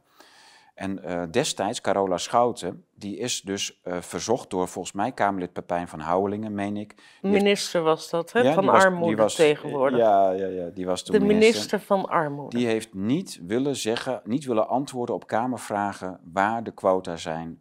Eh, maak ze publiek, laat ons zien wie die quota in bezit heeft. Dat werd gewoon niet, dat bleef in de kluis van het ministerie. werd niet, niet publiek gemaakt. Alle andere landen om ons heen hebben publiek gewoon, die quota zijn van die, zijn van die, zijn van die. Gewoon publiek verdeeld. En in Nederland is het een raadsel, want wij zijn de grootste speler op de Europese markt. Dat weet ik, ja. En daarom zaten ook de andere landen Ja. altijd achter ons visserij aan, Ja. heb ik me laten vertellen. Nou ja, En daarom heb je, heeft Nederland ook zijn nek niet uitgestoken eh, als overheid. met die pulsvisserij niet. Voor de pulsvisserij, waar dan Ja. geen bodemberoering zou Ja. zijn. Maar de, de, het grote geld van die, van die hele visserij zit in de quota. En, de- en dat is het grote vraagteken wat ja, ik nooit... zal teruggaan naar die uit- quota. Ja. Dat moet dan uitges... Ja, Ik neem aan dat ik het de vissers zelf kan vragen. die weten het ook niet, waar hun quota uiteindelijk blijft. Ik denk dat ze het teruggeven aan het ministerie, want die verleent hun die quota. En dat ze weer in, keurig bij het ministerie in de, in de kluis belanden. Maar dat enkel het ministerie weet aan wie die quota uiteindelijk herverdeeld gaan worden. En dan denk ik dat je gewoon bij de echte boosdoener uitkomt. Degene die daar uiteindelijk mee aan de haal gaat. Ehm, ja, en dan... Het, het, er kan ook nog iets anders spelen, maar ik denk dat hier al een, een, een stuk raadsel eh, opgelost moet worden. Ja. Waar, waar uiteindelijk eh, die quota belanden. En, en dan, eh, kijk, het is natuurlijk heel sexy om het zo maar te zeggen. En De, de vissers lopen te hoop, want hun boten worden vernietigd. En dat moet allemaal voor natuur. En dan komen bij de NGO's, de Stichting de Noordzee, eh Waddenfonds, zitten allemaal mee aan tafel om te beslissen wat de visserij moet gaan doen. En die willen het natuurlijk allemaal het liefste opheffen, want daar worden ze voor betaald. Eh, en zo zijn er nog heel wat andere NGO's die allemaal zogenaamd voor de natuur, maar eigenlijk in feite voor de overheid werken tegen de vissers. Ja, het is frappant. Ja, dat is altijd zo. Ja. En, de, en de boeren hebben daar ook last mee. Ja. En dus de vissers die aan tafel gaan zitten met de overheid, die komen er in één keer achter van, ja, Nou, ik de zit niet... vissers hebben eigenlijk alleen via de Vissersbond ooit aan tafel gezeten. En dat is ook de reden dat ik in januari die brief heb geschreven over de garnalenvisserij aan meneer Ja. Adema, namens ik de burger. Ja, Van, hoor eens even, dit kan niet en nee. dit is rechtsongelijkheid. ja, de- dat ik niet met 300 pk mag varen, maar wel met eh 100.000 of 10.000. Ja. Maar ik, ik dacht, ik neem eens een keer geen containerschip. ja, dat is heel goed. En dat is inderdaad raar. Als ik een stichting opricht, ik ga me met de Blauwe Tijger benoemen, bemoeien.nl. En ik ga jou dan iedere dag een brief schrijven. Zeg Ton, eh, ik heb jou, eh, ik, ik zag dat je een boek over eh, met een moeilijk uitspreekbare titel hebt uit, Desengano. Gagno, Gagno, ja. eh, uitgegeven. Dat bevalt me niet. Ja. En ik vind eigenlijk dat je dat niet had moeten doen en bla bla bla. En ik ga dat iedere dag doen en ik ga de minister schrijven en da, da, da, da. Daar krijg ik subsidie voor natuurlijk op een gegeven moment. Ja, ja, ik natuurlijk. zie het eigenlijk wel zitten nu ik het zo, Belangrijk werk. Ja. nou, zo- zo zeg. Maar dan zitten daar dus clubs aan tafel die helemaal niet direct belanghebbend zijn. Nee, maar daar kwamen de vissers ook zich dus achter. die, ja. die neus erin steken. Ja. Maar door, maar door de staat zijn ze aangemerkt als Ja. belanghebbende. Ja. Gaan ze naar de rechter, de rechter merkt ze ook aan als belanghebbende en ze zijn het niet. Hoe gaan we om met deze situatie? Hoe werk je die Nee, eruit? ik vind, vind dat wel goed van de SGP, wat ze recent dat initiatief genomen hebben. Toon maar aan dat je belanghebbend bent. Kom maar met, met eh 17 miljoen mensen bij de rechter dan. Ja. En eh, nou ja, wij, eh, sommige clubs hebben de afgelopen drie jaar ook geprocedeerd. Zonder dat je echt kon aangeven. hè, want je bent ja. stichting, hoeveel leden je hebt. Nou, maar met de boeren en de bouw, dat, dat is allemaal door de Johan Vollebroek aangezwengeld met zijn proces. Die had ook een NGO. Die had ook een BV met een adviesbureau. Zeven ton per jaar, dat Ja, vond ik wel mooi. Dat was heel raar. En maar Arno Wellens, die hebben, we- dat hebben we een paar weken terug eh, met Arno hier besproken aan, de, aan, aan, aan onze andere studio, de Bar. Eh, hoe, dat, hoe dat ging. Ja, de, de Johan Vollebroek, die, was dus, eh, die had een NGO voor natuurbescherming, werd aangemerkt door de rechter als belanghebbende, dus die mocht procederen tegen de staat. Nou, gesubsidieerd en al. Maar dat doet, dat, ja, hij doet dus trucjes ook bij de gemeente. Ehm, hij, hij dwingt de gemeente met zijn NGO een bepaalde kant op. Maar dan via zijn adviesbureau stuurt hij een brief van ja, u kunt me ook inhuren eh, voor advies hoe u onder mijn NGO-zaak Uit- eh, uitkomt. Dus hij wordt ofwel betaald via zijn NGO ofwel via zijn BV. Maar die gemeente die, eh, ja, die betaalt dan aan die BV, aan zijn adviesbureau, zodat Johan Vollebroek als adviseur kan aantreden van de gemeente om Geweldig. de gemeente te adviseren hoe ze met dat proces van die NGO kunnen winnen. Of er onderuit kunnen komen. En als ze daar maar genoeg, eh, hem genoeg betalen, dan ofwel stopt hij dat proces van die NGO, ofwel zet je het zo knullig in elkaar dat hij voor de rechter verliest, omdat hij de gemeente geadviseerd heeft hoe ze dat kunnen counteren. Ja, en, eh, maar- maar dit is natuurlijk gewoon. eh, dit, dit is bananenland in het kwadraat. Dit kun je niet verzinnen. In, in Colombia kun je dit niet verzinnen. Nee, dan schiet je ze gewoon over op. Nou ja, ik bedoel, dit is toch niet. Dit is, ja. En Nee, zo gaat het in de, in de visserij natuurlijk ook. Kijk, en Johan is een slimmerik. Hè, dat, is nou, dat is echt een van de slimmeren. Maar die weet hoe het gaat en hoe dit, hoe dit spelletje gespeeld moet worden. nou, ik vind, eh, wacht even, ik vind al die vissers ook slim, voor zover ik ze ontmoet heb. Maar die zijn niet devious. Is een verschil tussen... slecht, slecht slim zijn ze niet.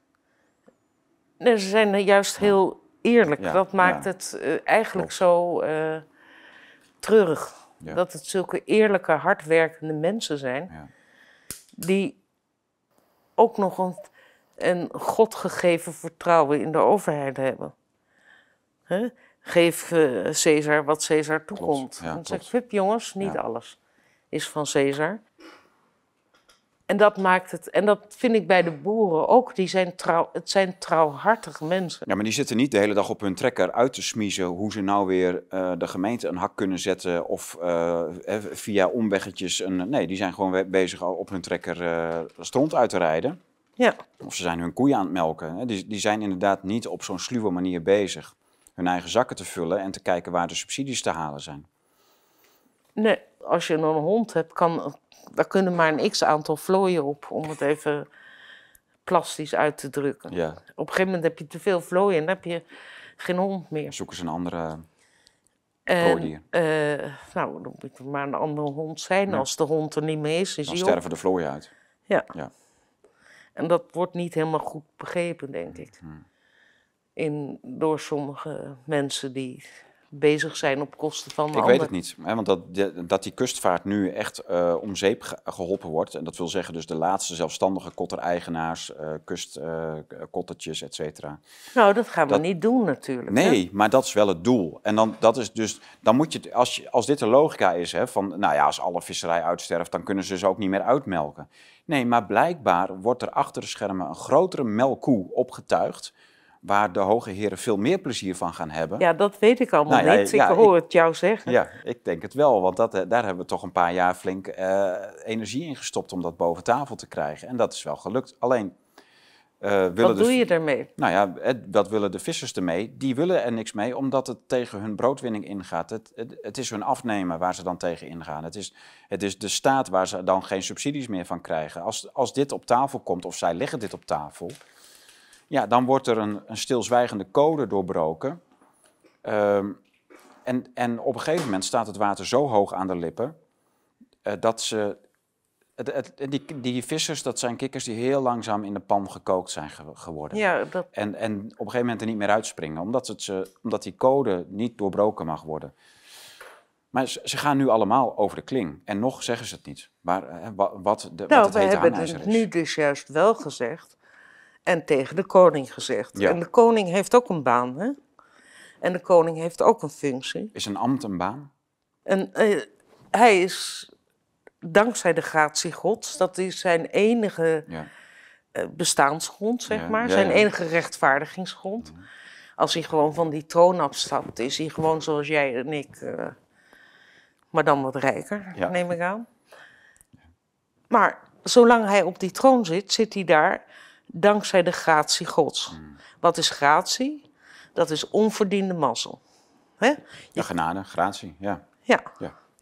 Dus on- en, maar daar moet je dus wel wat voor doen. Je moet toch een beetje verdienen. En dan, dat is je volk, hè? niet als onderslaaf, maar als goed huisvader behandelen. Ja. Wij doen dus ook, of de vissers doen een beroep op die goddelijk, godgegeven taak van de koning. Ja. Ja. Zijn enige. Ja. En dat is hun vrijheid beschermen en hen niet lastig vallen. Niet als slaaf te behandelen. En de, de koning heeft zich niet veel laten zien eh, de afgelopen tijd. Eh, op 4 mei 2020 nog even. Niet normaal maken wat niet normaal is. Ja, en die troonrede van laatst, dat was ook niet echt heel geweldig. Ja, maar die lees je helemaal onder verantwoordelijkheid van eh, Van de ministerraad. de heer Rutte voor. Ja. ja. Maar hij zit toch ook met zijn SDG-speldje Ja. bij de Bilderberg, bij de TWEF. Nou, ik zal ook niet... de- Ja, maar eh, daarom denk ik, weet je wat, doe lekker je speldje op. Ja. Maar eh, daar heb je weinig aan als je je- de poten onder je eigen troon vandaan zaagt. Nee, dat, vraag, dat, dat staat dus ter discussie. Of tenminste, hè, dat, dat zou ik wel ter discussie willen stellen. Is het zo dat hij de poten onder zijn stoel vandaan zaagt? Volgens de akte van verlating wel. Ja, of heeft hij al een, eh, een hele grote stoel stiekem klaarstaan met nog dikkere Nou, poten? ik maak me geen zorgen dat hij met veters langs de deur moet Nee, gaan ooit. Precies, nee. Maar ehm, zolang hij hier zit in die functie, als koning dus, dan heeft hij zich als koning te gedragen. Ja. Ik vind het een uitstekende houding, Caroline, als, als soeverein burger van dit land. Vind ik, je- ik, je bent uitstekend bezig. Ga door. Nee, niet soeverein burger, want Ja. dan ben ik weer iemand die zich Ja, nee, de... ja, oké. Eh, Ik stel nee, me ja, juist binnen de rechtsorde op, Nou ja, omdat ik daar soeverein ben. Ja, ja, als ma mandat. Zonder de onverdiende mazzel dat ik ook op de troon zit. Ja, ja. Zonder de gratie gods Ja, dus. Of eigenlijk wel, je bent ook mens bij de gratie gods natuurlijk. Ja. En, eh, nee, maar die, die functie heeft hij en, dat ga, en hij zit in de regering. Ja.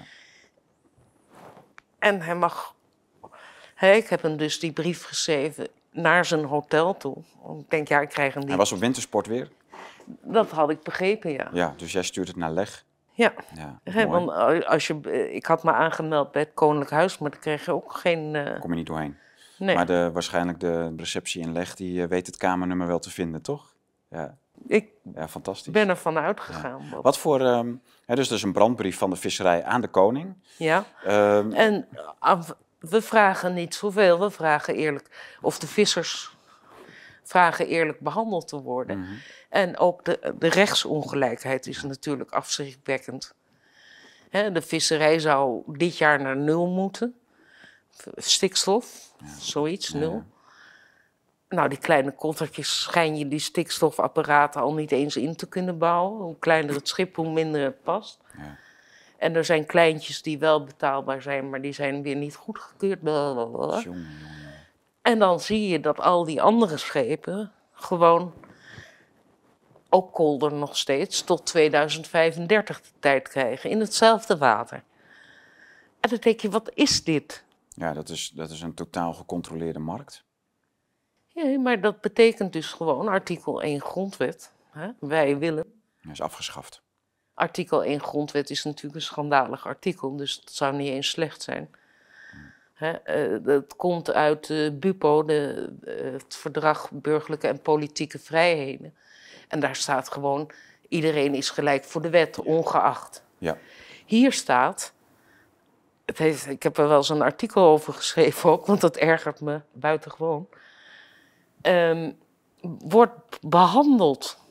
Ik zeg, word ik behandeld? En door wie dan ja, wel? Ja, ja, ja, ja, dat is een hele grote toonverschuiving. Ja, Ja, dat is, dus je wordt behandeld. Door wie? Door een Beatrix, want die heeft dat getekend. En de mensen die daaronder stonden. Ik word behandeld. Wat zullen we nou toch Is dat de wijziging van 1983? Ja. Ja. Maar ja, daar heeft ook Van Tijn, die is daar ook een tijdje alsnog als minister van Binnenlandse Zaken bij betrokken geweest. Ja. Staat ook in mijn brieven, heeft ook gezegd, eh, de gratie gods is natuurlijk de basis van alles. En die, ook in de grondwet, ook als het er niet staat. Mm, Dat is geen ceremoniële uitdrukking. Nee, Nee, dat is de basis. het is, eh nou ben ik die naam even vergeten, ancient law. Het gaat ook, hè, er waren eerder mensen dan wetten. Ja. En het Gewoon, gewoon terecht. Nou, gewoon het zijn, het leven. Ja. Eh, jij blijft met je handen van mijn spullen af en ik van de jouwe. Maar dat idee dat eh, vorsten regeren bij de gratie gods, hè, droit divin, Ja? dat is iets wat in de 14e eeuw, dus aan het einde van de middeleeuwen pas eh, opkomt. En wat eigenlijk dus dat, die hele opkomst van de natiestaat, de moderne staatsvorming, heeft gelegitimeerd. Maar dat is natuurlijk ook eh, een, Ja, maar een- dus hangt wel een prijskaartje ja, aan die de, gratis. de prijskaart is inderdaad. Dus dat eh, vroeger werd de vorst gewoon gelegitimeerd door zijn onderdanen, om het zo maar te zeggen, hè, in, met een lelijk woord. De sterkste werd het. Ja, en als die het niet, als die niet, niet goed deed, dan gingen de onderdanen een andere vorst halen die het Ja. wel goed kon. Ja. Hè, en, eh, en dat droit divin, dat was, ehm, dus regeren bij de gratie gods, was dus echt wel bedoeld om die onderdanen te imponeren. Van ja, maar ik, ik regeer helemaal niet bij jullie gratie, ik regeer gewoon bij Gods gratie. Nee, maar wat, wat, zegt, wat zegt die gratie gods nou? Nou, Op het moment dat jij die gratie verspeelt, de akte van verlating. Op het moment dat de vorst die gratie verspeelt, verspeelt hij zijn troon, zijn kroon, zijn hup. ja, En dan is het de plicht, de goddelijke opdracht aan het volk om die vorst te verjagen. ja. Dus het is niet van. eh, Hangt dat ook in die, boven die brief? Dat idee van, nou, eh, u moet wel oppassen met uw ehm nee, mandaat? nee, of- nee, dat heb ik er niet in Nee, gezet. oké. Eh, maar ik neem aan dat hij dat toch heeft geschiedenis Dat hij gestudeerd. daar bekend, bekend is, ja, ja, ja, ja dat zou Ja. moeten. Ja. Jij, jij, zegt, jij refereert wel aan de akte van verlating als een soort eh, basis... eh, Grondslag van de grondslag Nederlandse- van onze Nederlandse staat. Nou ja, hij ligt ook in het parlement als geboorteakte van de Nederlandse staat. Kijk, Hij is ook een, een, een, een sieraad ge- gekozen op tv als sieraad voor de Nederlandse samenleving, die akte van verlating. Eh, dus ik denk dat, ja, die leeft nog. En God is niet veranderd, dus die gratie zal ook nog wel onder dezelfde voorwaarden. En in 83 is dat dus nog door Fontijn ook weer bevestigd. ja. En bij de inhuldiging van, eh, van eh, Willem natuurlijk ook. Een voornaam, iemand mag je bij zijn voornaam noemen. ja. Koning Willem. Ja. En, ehm, en hij heeft ook die eet daarop, of die- ja, de eet daarop afgelegd. Niet alleen op die grondwet en ook bij de gratie God. Dus dat, die gratie God is niet een... Lege eh, term. le- nee, zo, maar het is ook niet een term om eh, totalitair gedrag te mogen vertonen. Het is echt een strikt eh, begrensde mandaat, om het zo te zeggen. Van God, ja. ja, ja. ja. Ja. Oké. En wij hebben dan weer als volk de opdracht om als dat. Hè, dat werd toen de 80-jarige oorlog, dat hoop ik toch van niet.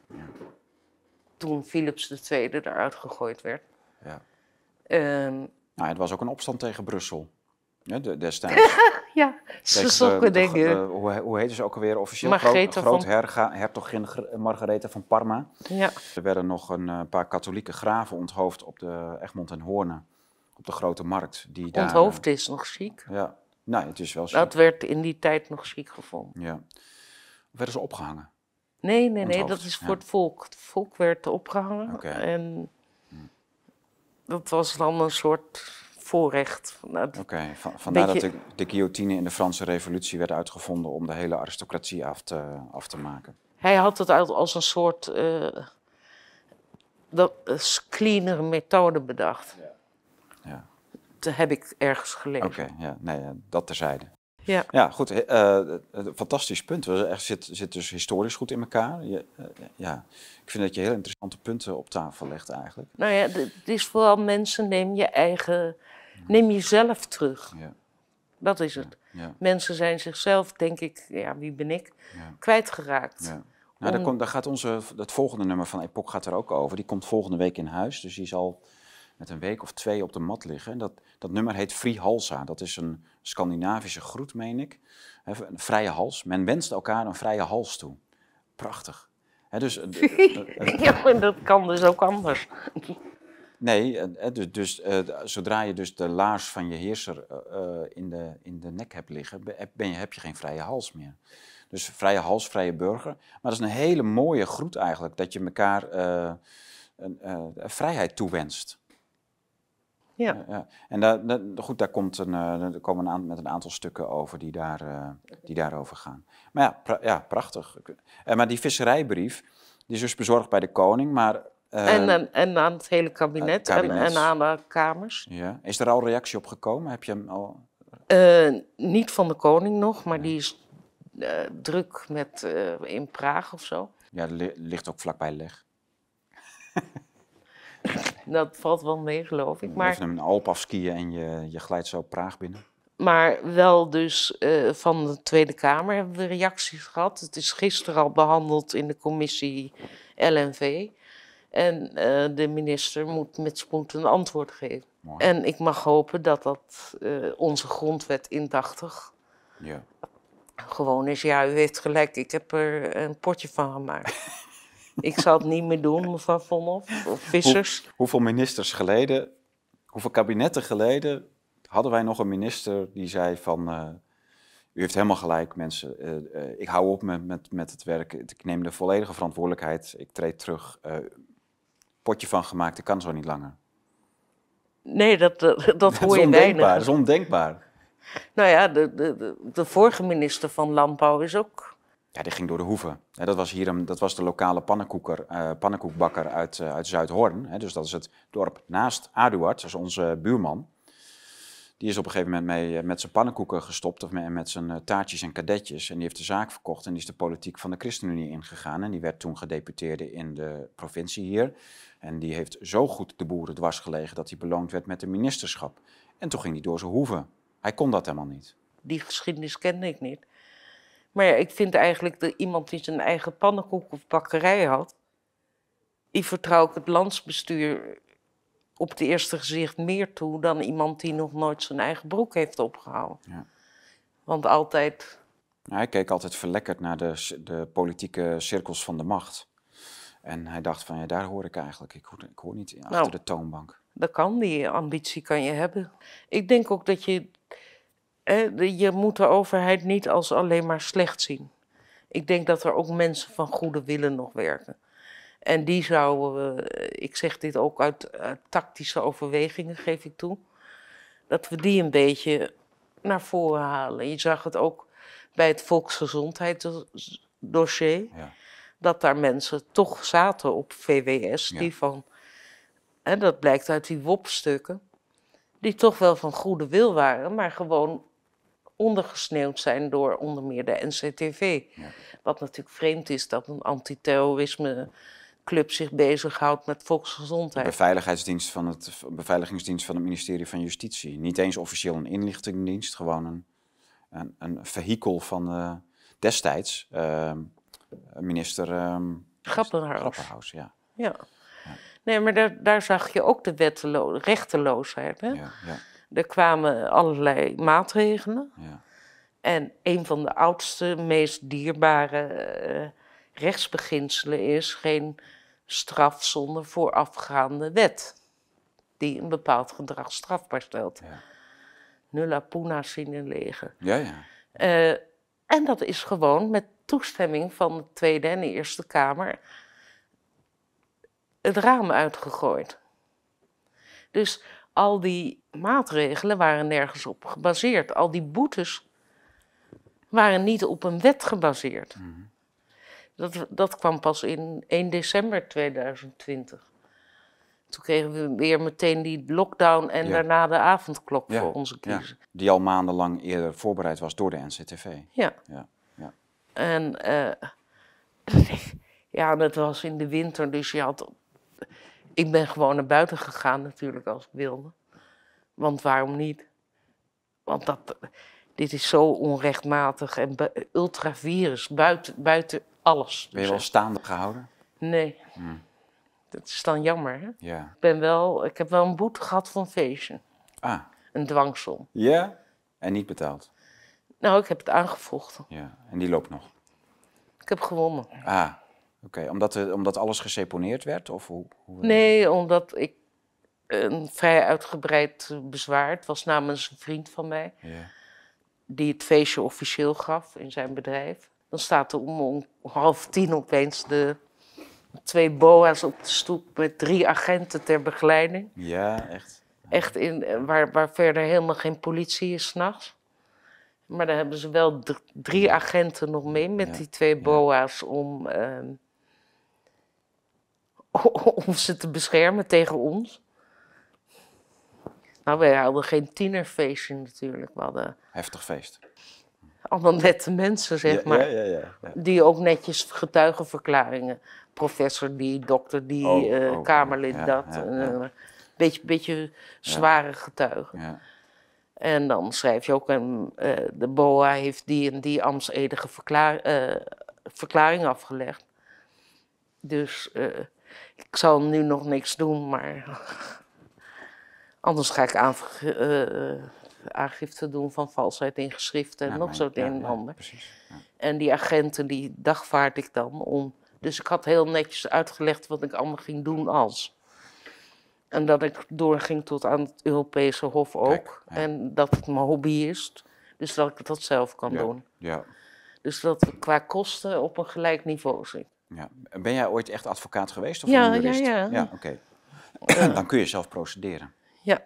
Nou, ik ben al 15 jaar geen advocaat meer. Oké. Oh, Op een gegeven moment eh, had ik het wel eh, gezien, zeg maar. Ja. ja.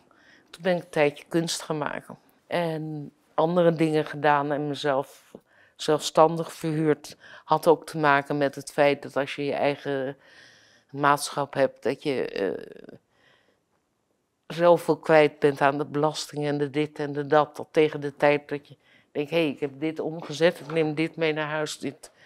En ik werk zeven dagen per week, eh, twaalf uur per dag. Iets klopt er niet. Dus die brief die, eh, die heeft wel voor reuring gezorgd. Werd direct serieus genomen in de commissie LNV in de, van de Kamer. De koning eh, heeft hem op zijn nachtkastje. Dat kunnen we toch wel van het. uitgaan. Als er iemand van de familie Vonhof dat serieuze, een serieuze brief... Nou, mijn naam staat er niet onder natuurlijk. Maar ja, goed. Je hebt hem wel bezorgd. Laten bezorgen. Laten bezorgen. Ja, dus dat is, dat is interessant. Ehm nou hebben we binnenkort de 11, eh 11 ehm, maart is er dan de acties van de boeren en de burgers op het, eh, ja, in Den Haag. Dan worden ze op het Zuiderpark weggeparkeerd om daar te mogen demonstreren. Jij zegt van ik ben niet zo van de demonstraties. Wat, wat voor actie zie jij hier nog op volgen? Wat, wat, kun je, wa- wat voor gewicht leg je met de vissers in de, in de schaal, als je daar al iets over kan zeggen? Ehm, nou, we hopen natuurlijk nu dat men tot reden komt. Hè? Ja.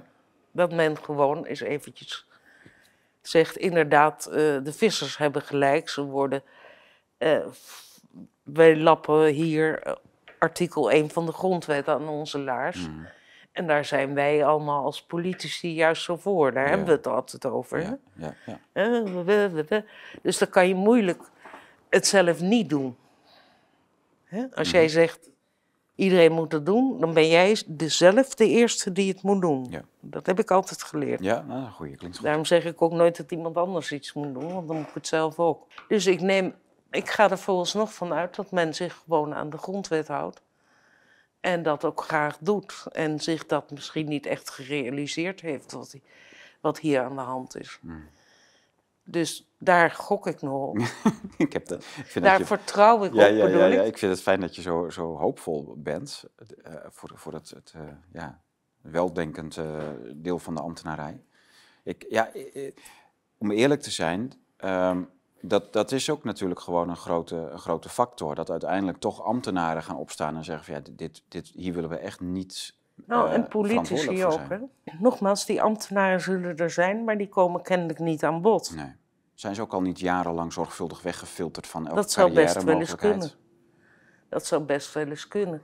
Eh, je ziet nu, eh, nu die meneer Buis Laurens Buis van de ja, UvA. v- van de UvA. Eh, ik heb ook aan de UvA gestudeerd. Ah, Ik ben niet eens op de gedachte gekomen dat ik daar een carrière zou kunnen hebben. Hè? Ja. Omdat mensen die niet eh, in de staatsmoraal passen, sowieso eh, niet aan bod komen daar. ja. En Nou, dat, dat, dat- vind ik ja. niet iets om over te klagen, dat Nee. is iets om te zien. Je bent niet de enige die het zegt. Hè? Robert Lem, die, eh, die eh, vooral met Spaanse literatuur bezig is geweest. Dat gaat dan over die Desengaño, Ja. dat boek. Dat, eh, die heeft hetzelfde ervaren aan de UvA, ook 40 jaar geleden. Ja, dat, eh, het, het ging gewoon niet meer. Nou, En- ik heb er nooit gewerkt Nee, en nooit geambieerd, nee, omdat het niet eens in je Ja. gedachten opkomt. Ja, En nou was ik ook niet iemand die echt de hele tijd op de universiteit was, hoor. Dat wil ik ook wel Mhm. oké. toegeven. oké. Je was niet zo'n zo'n echte onderzoeker. Nee, ik, werkte tijdens mijn studie in de Tweede Kamer als medewerker van een Kamerlid. Kijk. van het leukste Kamerlid, zeg ik altijd. Eh, dan moet uh, Wiegel. Nee, Hans uh, Huub Jacobsen. Oh, echt waar? Een totaal onbekende naam voor mij. Ja? Ja. Ik had ook zo'n bord voor hem gemaakt, vrij van politiek fanatisme, zo'n achter zijn bureau. en die zat in de politie en in de RSV-enquête toen. De spannende dingen. We hadden wel de spannende dingen. Oké. Okay. Ja. En dat, uh, over politie gesproken, je ziet nu wat daar allemaal misgegaan is met die, het afschaffen van de gemeentepolities Ja. en alles. Ja, dus dat de korpslandelijke eh, dat, politiediensten is toen opgericht 2012. Ja. Dat is natuurlijk veel later, maar die tendensen waren natuurlijk al heel lang gaande. Dus dat heb je allemaal mee. Je, je bent ambtenaar van LNV geweest, je hebt, je hebt in de politiek eh, rondgekeken, landelijke politiek. Je hebt, je hebt heel veel dossiers al op jonge leeftijd eigen gemaakt. Zo. Ja, dat is het gekke, hè? Dat je, le- eh, je begrijpt je leven pas achteraf, Oké, zegt zegt ja. Kierkegaard, geloof ja, ik. Hè? Van, eh, ik denk, wat ben ik toch allemaal aan het doen? en nou blijkt het Ja. in deze tijd, denk ik, hé, hey, het heeft... eh, grappig dat Ja. ik net die vogelrichtlijn en die habitatrichtlijn en die visserij en eh, hoe ga je met wetgeving om? Mhm. Hoe kijk je daarnaar? En als je het zelf schrijft, ik heb het voorontwerp voor de Flora- en Faunawet met Ah. veel pijn en moeite geschreven. En eh, Werd daar in de definitieve versie nog veel van heel gelaten of niet? nou, ik geloof, ik heb dat niet meer meegemaakt. Mm. Ik ben toen, eh, toen het voorontwerp er eenmaal was, ben ik naar de visserij gegaan. Om, als jurist dan, hè? Ja. Om dat in Brussel te Oké, begeleiden. En toen was ik vrij snel eh, op Urk, Ja, zullen we zeggen. Ja, ja, ja. Ah, Dus je hebt als advocaat ook voor Urkers gewerkt. En andere vissers. Ja. Ja, als, voor zover je dat mag zeggen. Ja. Nou ja, zonder naam. Ja, en toen ben ik daarna maar ja, geëmigreerd. Voor een paar jaar. Daarna weer de advocatuur in. En nog management. Ja, genoeg, ik heb genoeg gedaan en dat komt nu allemaal bij elkaar. Mhm. En hier en ook in de drie jaar hiervoor. ja. En dat, dan denk ik ook wel dat. het- Dat betekent ook dat je wat losser naar een wet kijkt. Hè? Het is niet, oh, het is een wet en dat kan je niet veranderen. Nee. Mhm. Ik heb in de Kamer gezien dat je het kan veranderen. Ik heb eh, als schrijver van zo'n ding, Ja. eh, van een voorontwerp in ieder geval, gezien dat je het kan veranderen. Het komt, komt niet uit de lucht vallen. Ja. Of het is niet iets wat onveranderlijk is. ja. Waar staat de brief? Kunnen, kunnen gewone burgers die ook ondertekenen? Of, of is Eh, dat... eh, Ja, op ons, hij staat op onzevisserij.nl. .nl? Ja. Hè, want het zijn onze vissers. Ja. En het zijn onze boeren. Het onze middenstanders. ja. Onze Nou, het gaat om onze voedselveiligheid, onze, Onze voedselvoorziening is in het voedselveiligheid, gevaar nu. Ja. Ja. En op ikdeburger.nl. Kijk. Ja. Ja. En kunnen mensen daar hun steun bij geven of da- Ja. dat ondertekenen? Ja. Ja. Dus uh, ikdeburger.nl, onzevisserij.nl zijn de twee websites waar die brief ondertekend kan worden. Onze Visserij is echt een initiatief van onze vissers ook. Aangespoord en aangevoerd door eh Caroline Nou ja, van Hof. niet, niet, Nou ja, ik vind het juist zo mooi dat ze het zelf gedaan hebben. Ja, maar je speelt een niet te onderschatten verenigende rol in de Ja, visserij op ik snap er niks Ja, van, ja, maar Ja, het schijnt zo te zijn. ja. En, maar ik vind het mooi dat men dat gewoon eens zelf doet. Dat men dus ook buiten de geëikte paden. Hè, want je bent niet alleen maar lid van een organisatie. Ja. Je bent ook nog eens een keer jezelf. Op het moment dat dat dan niet helemaal loopt zoals jij wil. Hè? Net zoals wij, met, eh, wij niet-vissers het hebben met de Tweede Kamer Ja. en de Eerste Kamer. Dan moet je dus je mandaat terugnemen. En zelf weer gaan handelen en zelf gaan verbieden. En vergeet niet, hè, eh, een van de leuke dingen van de gratie gods is dat wij als mensen vrije wil gekregen hebben. Ieder voor, iedereen heeft zijn vrije wil. Je zou bijna denken, als je Rutte zo dagelijks hoort, dat dat ver te zoeken is, die vrije wil van een burger. Die mag Van een gewoon, mens. Die zegt gewoon, ja, maar jullie hebben op mij gekozen, dus bek houden, ik doe nu wat je... Ja, maar misschien heeft hij niet, niet voor niets zo lang over een studie gedaan die andere mensen in vijf jaar doen. Hij, Ja. ja. En eh, misschien weet hij. Ik ben al. Nee, dat ben ik helemaal niet. Maar misschien weet hij dat niet. Hmm. Hè? Dat hij misschien geen staatsinrichting gehad heeft. Oké, ja. Dat zou kunnen. Ja, nee, ik vind het een eh, goed idee om daar maar van dan dat maar te gaan hopen, ja, dat hij dat dan niet gaat. En, Nou, en dan kijk, bij deze dat hij wat lesjes mijn- krijgt, Oh, op dat ik, ik de burger, wat niet alleen van mij is gelukkig, staat, heb ik ook zijn verhaaltje in de Tweede Kamer. Dat is het beginfilmpje. Hè? Wij als, als staat kunnen niet anders dan medeplichtigen zijn Ja, bij het schenden van hij zegt het zelf. Ja. Nou ja, hij citeert Abraham Kuyper klopt. dan. Ja, al in antwoord op een interruptie van, eh, van de staai, geloof ik. Hè? Ja. Ja. En eh, ik denk, nou, dat is nou net een leuk stukje. ja. Ik zal eventjes uitvoering geven Mhm. aan wat u gezegd heeft. Maar dat was ook toen hij demissionair werd, dat hij lachend eh, uitriep van, ja, we zijn nu demissionair, ik heb nu meer macht dan ooit.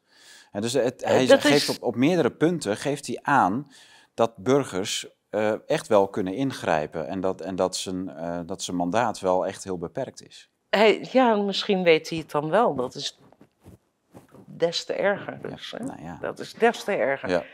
Kijk, je moet altijd zo besturen, heb ik geleerd, dat er geen rechters nodig zijn.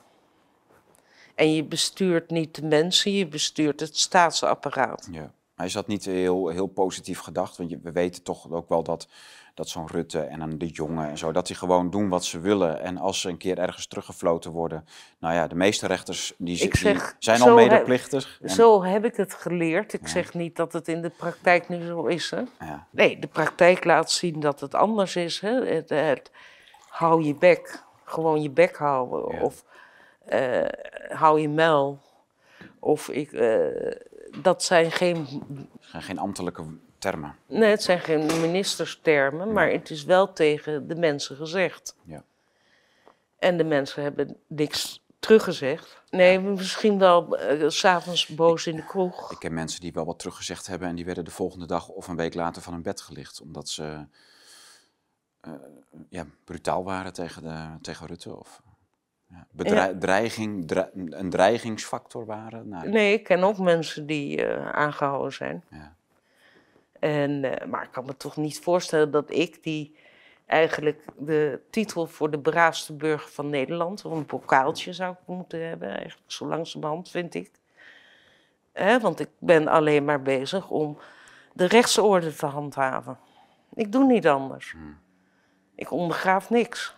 Zelfs Hmm. Nou ja, geen Groningse huizen. Nee, maar dat zal misschien toch hun gevoel zijn dat je bezig bent met het ondergraven van hun, eh, ja, hun prachtige winkeltje wat ze zo zorgvuldig hebben Nee, maar ik heb het over de rechtsorde. Hè? Ja. Ik heb het niet over de private belangen van mensen die. in- Bestaat die rechtsorde eigenlijk nog? Eh, Hoe kijk jij daarnaar? Wat, hè, al die uitspraken die we gehad hebben, alleen de avondklok hebben we een leuke uitspraak gehad die dezelfde dag. Aan de PCR-test een keer. Als Nederlander moest je opeens een PCR-test hebben om in te reizen. In je eigen land. Hè? Terroristen kan je niet tegenhouden. ja, maar dat wel. Ja.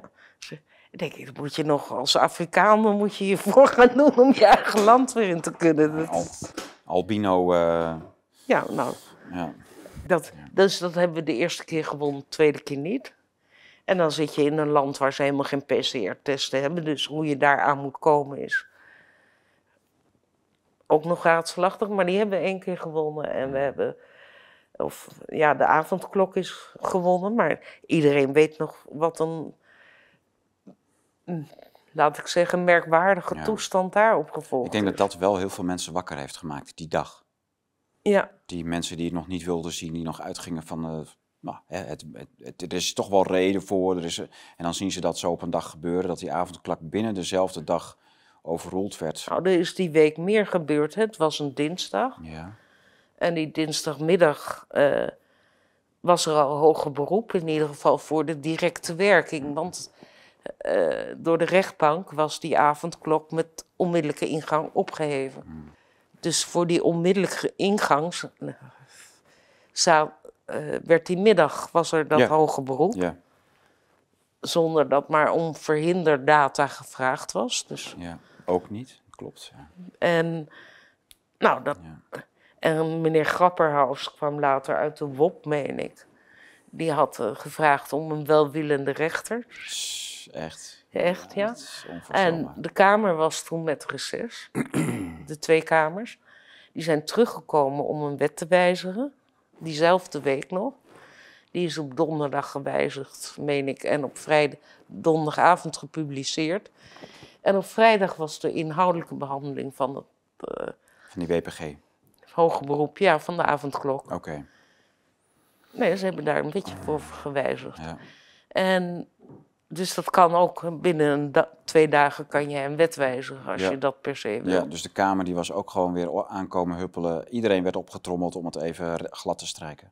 Ja. Dat is onvoorstelbaar. Maar dat, diezelfde, hetzelfde type mensen zit nu nog steeds allemaal op de stoeltjes. Grapperhaus is dan wel weg, maar ja, uh, Staghouwer is dan wel weg. Maar ja, goed. Denk je dat Adema in het geval van boeren en vissers echt iets gaat veranderen? Dat, zijn, er, uh, zijn jullie ook bereid om, om weer die misschien zinloze gang naar de rechter te maken? Wat, wat, hoe schat nou, ik heb begrepen dat er niet zoveel ge, geprocedeerd is. Uh, ik ben daar ook maar ingevallen. Hè? Ik was helemaal tweeënhalve maand geleden helemaal niet van plan om iets met vissers te doen. Ik was iets van plan met, met, met mensen te, nou, te doen. Mhm. Mensen weer in hun.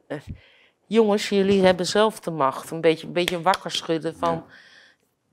Pik, pik niet meer, pik minder. Het, pik, het pik minder arrest, dat komt Precies. Eraan. Ja, dat is mooi. En uh, dat kunnen we ook zelf wel doen dan. En wat ga je dan doen? Ja, waarom heb je eigenlijk een vergunning nodig om te vissen? Zou je je af kunnen vragen? Ja, omdat de, vis, omdat de zee anders leeg gevist wordt. Dus, dat zou ik dan uit de jaren tachtig kunnen, nog kunnen bedenken. Ja, maar dat, daar kijk ik nu ook anders op terug dan, ja, dan toen ik erin zat. Ja. Ik denk, ja, dat waren RIVM. Dat waren voor ons op uh, landbouw waren, uh, heilige cijfers. Ja. En nu... Uh, die zogenaamde wat Het RIVM wat beter heb leren kennen, om het zo maar te zeggen. Aha. In de afgelopen drie jaar, denk ik, ja. Klopte dat wel toen? Ja, ja ik weet dat dus niet. Hè? Ik weet dat ook eerlijk niet. Nee. En uh, als jij gewoon x quota hebt, maakt het voor, natuurlijk voor de visstand niet uit wie die eruit haalt. Nee, want die quota worden gebaseerd op die visstand. Dus dat is, dat is vrij eenvoudig allemaal te tackelen. Ja. Nee, maar je weet niet. Hè, jij zit niet op zee, ik zit niet op zee. Uh, hè, daarom kunnen ze waarschijnlijk ook al die industriegebieden daar nu aanleggen. Omdat wij het niet zien. Mhm.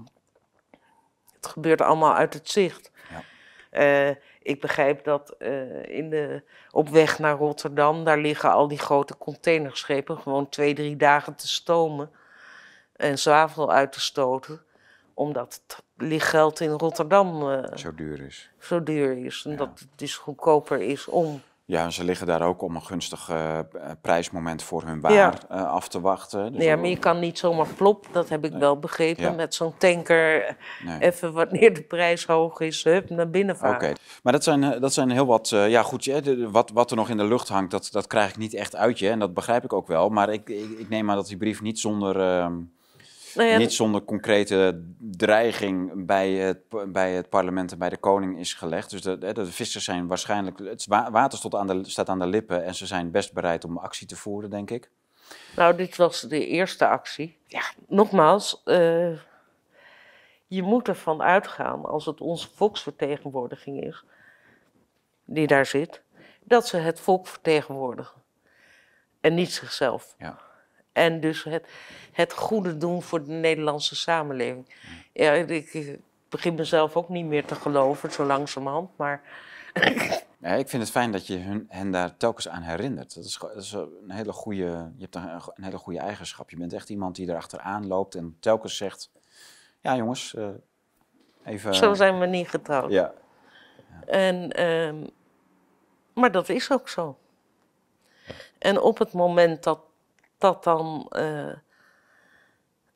als ze echt niet voor reden vatbaar blijven en uh, in strijd met onze zogenaamde afspraken, hè, die dan opgelegd zijn, die wetten ja. handelen, dat je dan uh, zegt, nou, nou is het klaar, nou neem ik mijn mandaat terug. Maar wat ik ook gezegd heb, dat kan je iedere dag doen.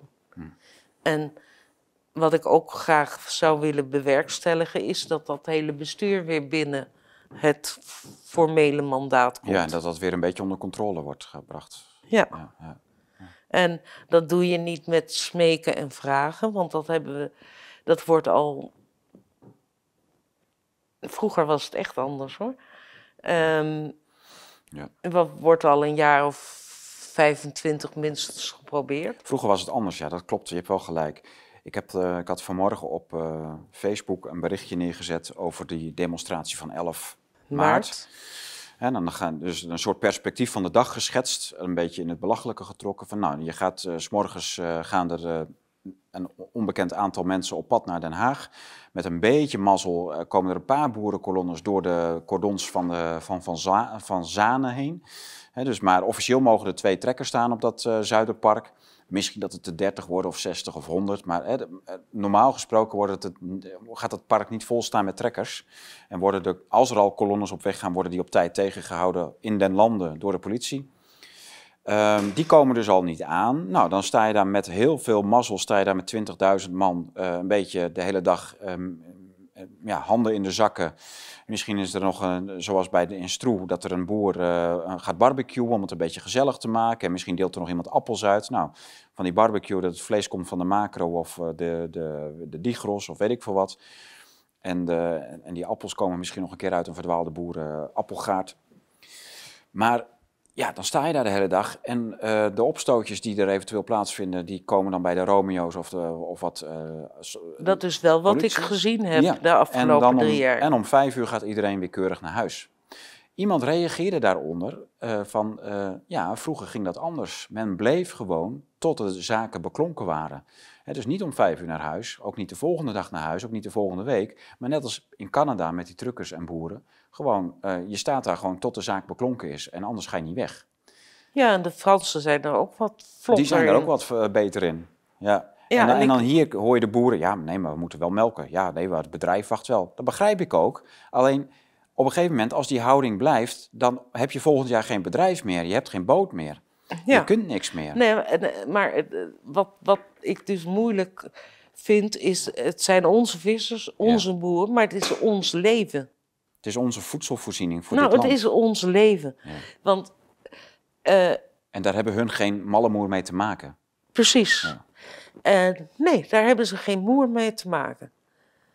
Daar zijn ze ook niet voor aangesteld. Mhm. Ze zijn aangesteld om netjes en goedkoop op de winkel te passen ten behoeve van de Nederlandse samenleving. Als er al een contract sociaal is, is dat het contract sociaal. En daar houden, dat hebben zij opgezegd. En geen stikstofgevoelige plantjes. eh Dat is dan, toch eh, te gek voor woorden. natuurlijk. Ja. Of een En zeldzaam eh, beestje. we wonen in een moeras grotendeels. Waarom Ja, rivier- moet een je daar een- zandgronden? Een, een rivierdelta met, Ja. met kleigronden en vruchtbare En uiterwaarden. ga eens in de Oostvaardersplassen kijken. Als jij na- overheidsaangelegde natuur wil zien, Drama. dan moet je daar gaan kijken. Ja, dat is een drama. Eh leeggescheten door alle reigers, eh, hè, want die...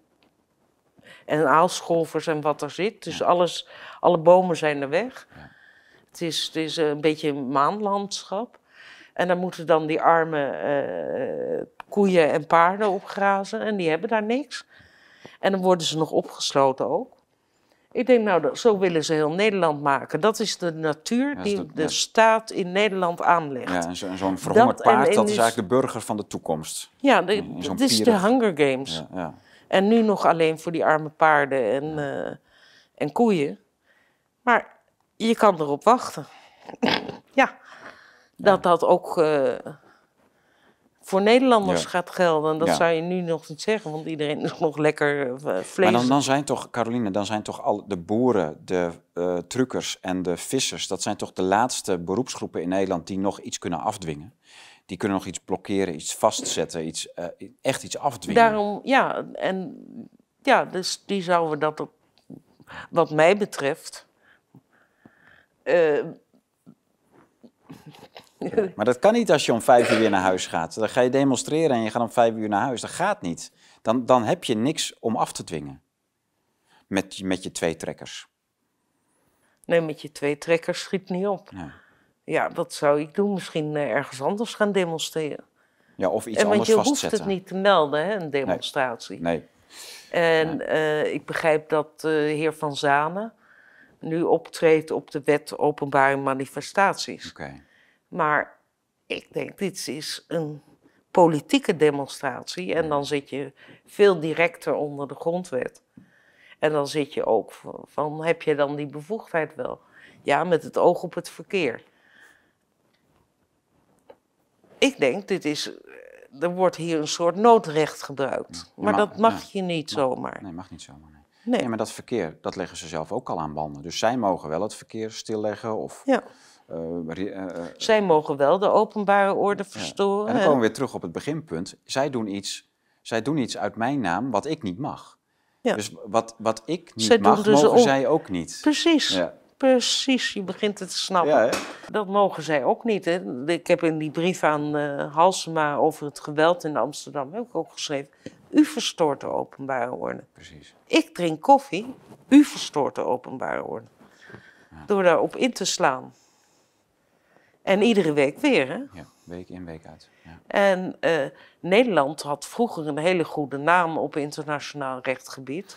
Dat zal met die uh, rapportering wegens schending van de Torture Convention. Wat van, gebeurd van Niels Meltzer. Ja, ja, ja, wat gebeurd is. Um, wel wat minder geworden zijn. Ja.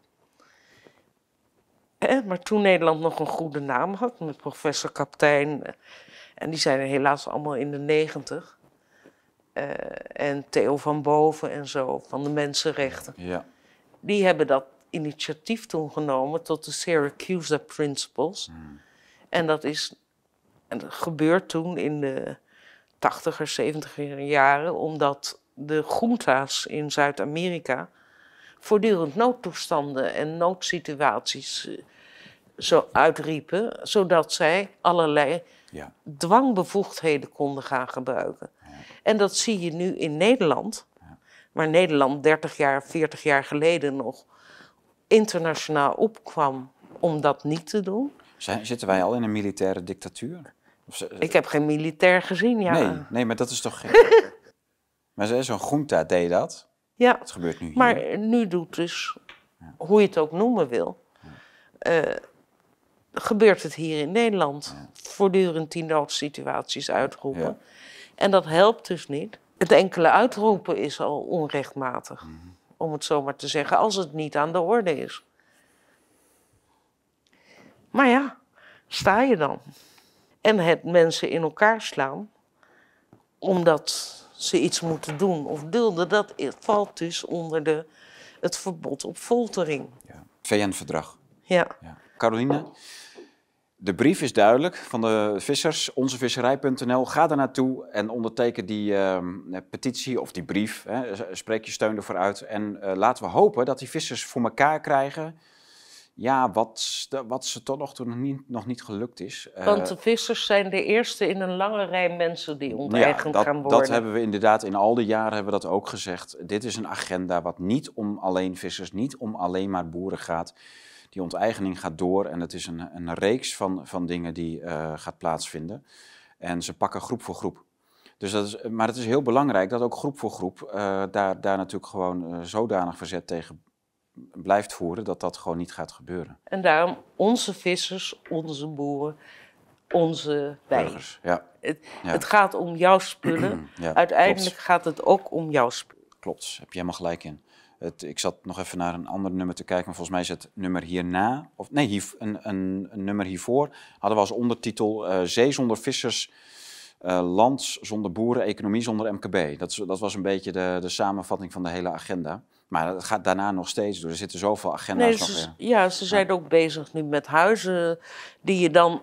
Als niet meer mag hebben. Ja. Niet meer mag hebben en die je moet aanpassen en weet ik veel wat. Ja. Fantastisch, dank voor je komst uh, Caroline. Een, een uh, ja, ontzettend bijzonder. Dus een loopbaan gehad bij het ministerie van de LNV heel vroeg al advocatuur ingegaan, uh, bij, voor de vissers gewerkt. Eh, ontzettend. Nou, je bent niet voor niks uh, nu op dit uh, pad terechtgekomen. Veel sterkte met wat je aan het doen bent met Ik de Burger en, en de visserij. Dank je. Goeie reis terug. Bedankt voor het kijken naar Blue Tiger Studio. Uh, we hopen natuurlijk dat de video erop blijft staan, zodat we er lang van kunnen genieten. Want het is een heel belangrijk en groot dossier wat ons allemaal aangaat. Het is onze nationale voedselvoorziening die op het spel staat. En dat geldt natuurlijk ook voor de boeren. Of je wel en niet, of niet naar het Zuiderpark in Den Haag gaat op 11 maart, Dat is natuurlijk iets heel anders. Wil je, hou je van demonstreren, vind je het zinvol, ga er dan vooral heen. Kun je op een andere manier bijdragen aan het, aan het hele dilemma, om het zo maar eens te zeggen? Ja, natuurlijk, dat kan. Teken die brieven, laat zien dat je er bent. Schrijf brieven naar je eigen burgemeester. Verbied ze om te doen wat ze, waar ze mee bezig zijn.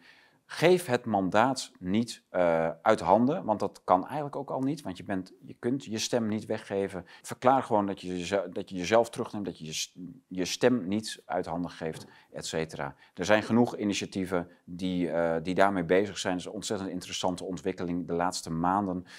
Eén daarvan uh, komt dus in de komende epoch, die komende week bij ons in huis komt en dan een week later bij de abonnees op de mat valt. Dat is nummer 19 en dat is, uh, staat in de webwinkel Frihalza. Dat, dat bevat dus een samenvatting van de Duitse avond die wij in november hebben gehad, waarin Duitsers aanwezig waren om ons uh, ja, voor te lichten over hoe zij autonoom leven. Als Germanitisch stamverband, ontzettend interessant. Dat staat een integraal verslag en ook de contactgegevens van onze Duitse vrienden die daar toen die avond verzorgd hebben, staat in die epoch. Dat gaan we niet online gooien. Die avond komt niet online, de contactgegevens komen niet online. U kunt dus de epoch bestellen en daarin vindt u manieren om zich aan te sluiten bij deze Duitse, uh, dit goede Duitse initiatief. Want ze zijn al, nu al heel ver met het ontwikkelen van een Nederlandse pendant die in Nederland uh, al voet aan de grond heeft gekregen. Waarmee we dus echt heel ver, eigenlijk op een manier die Caroline net genoemd heeft. Je zegt, ik, ik verklaar hierbij dat, dat, dat dit niet kan. Ik verbied u om dit te doen. Ik gebied u om dat te doen, et cetera. Weer terug naar de overheid zoals die zou moeten zijn. Bedankt voor het kijken. Tot de volgende keer.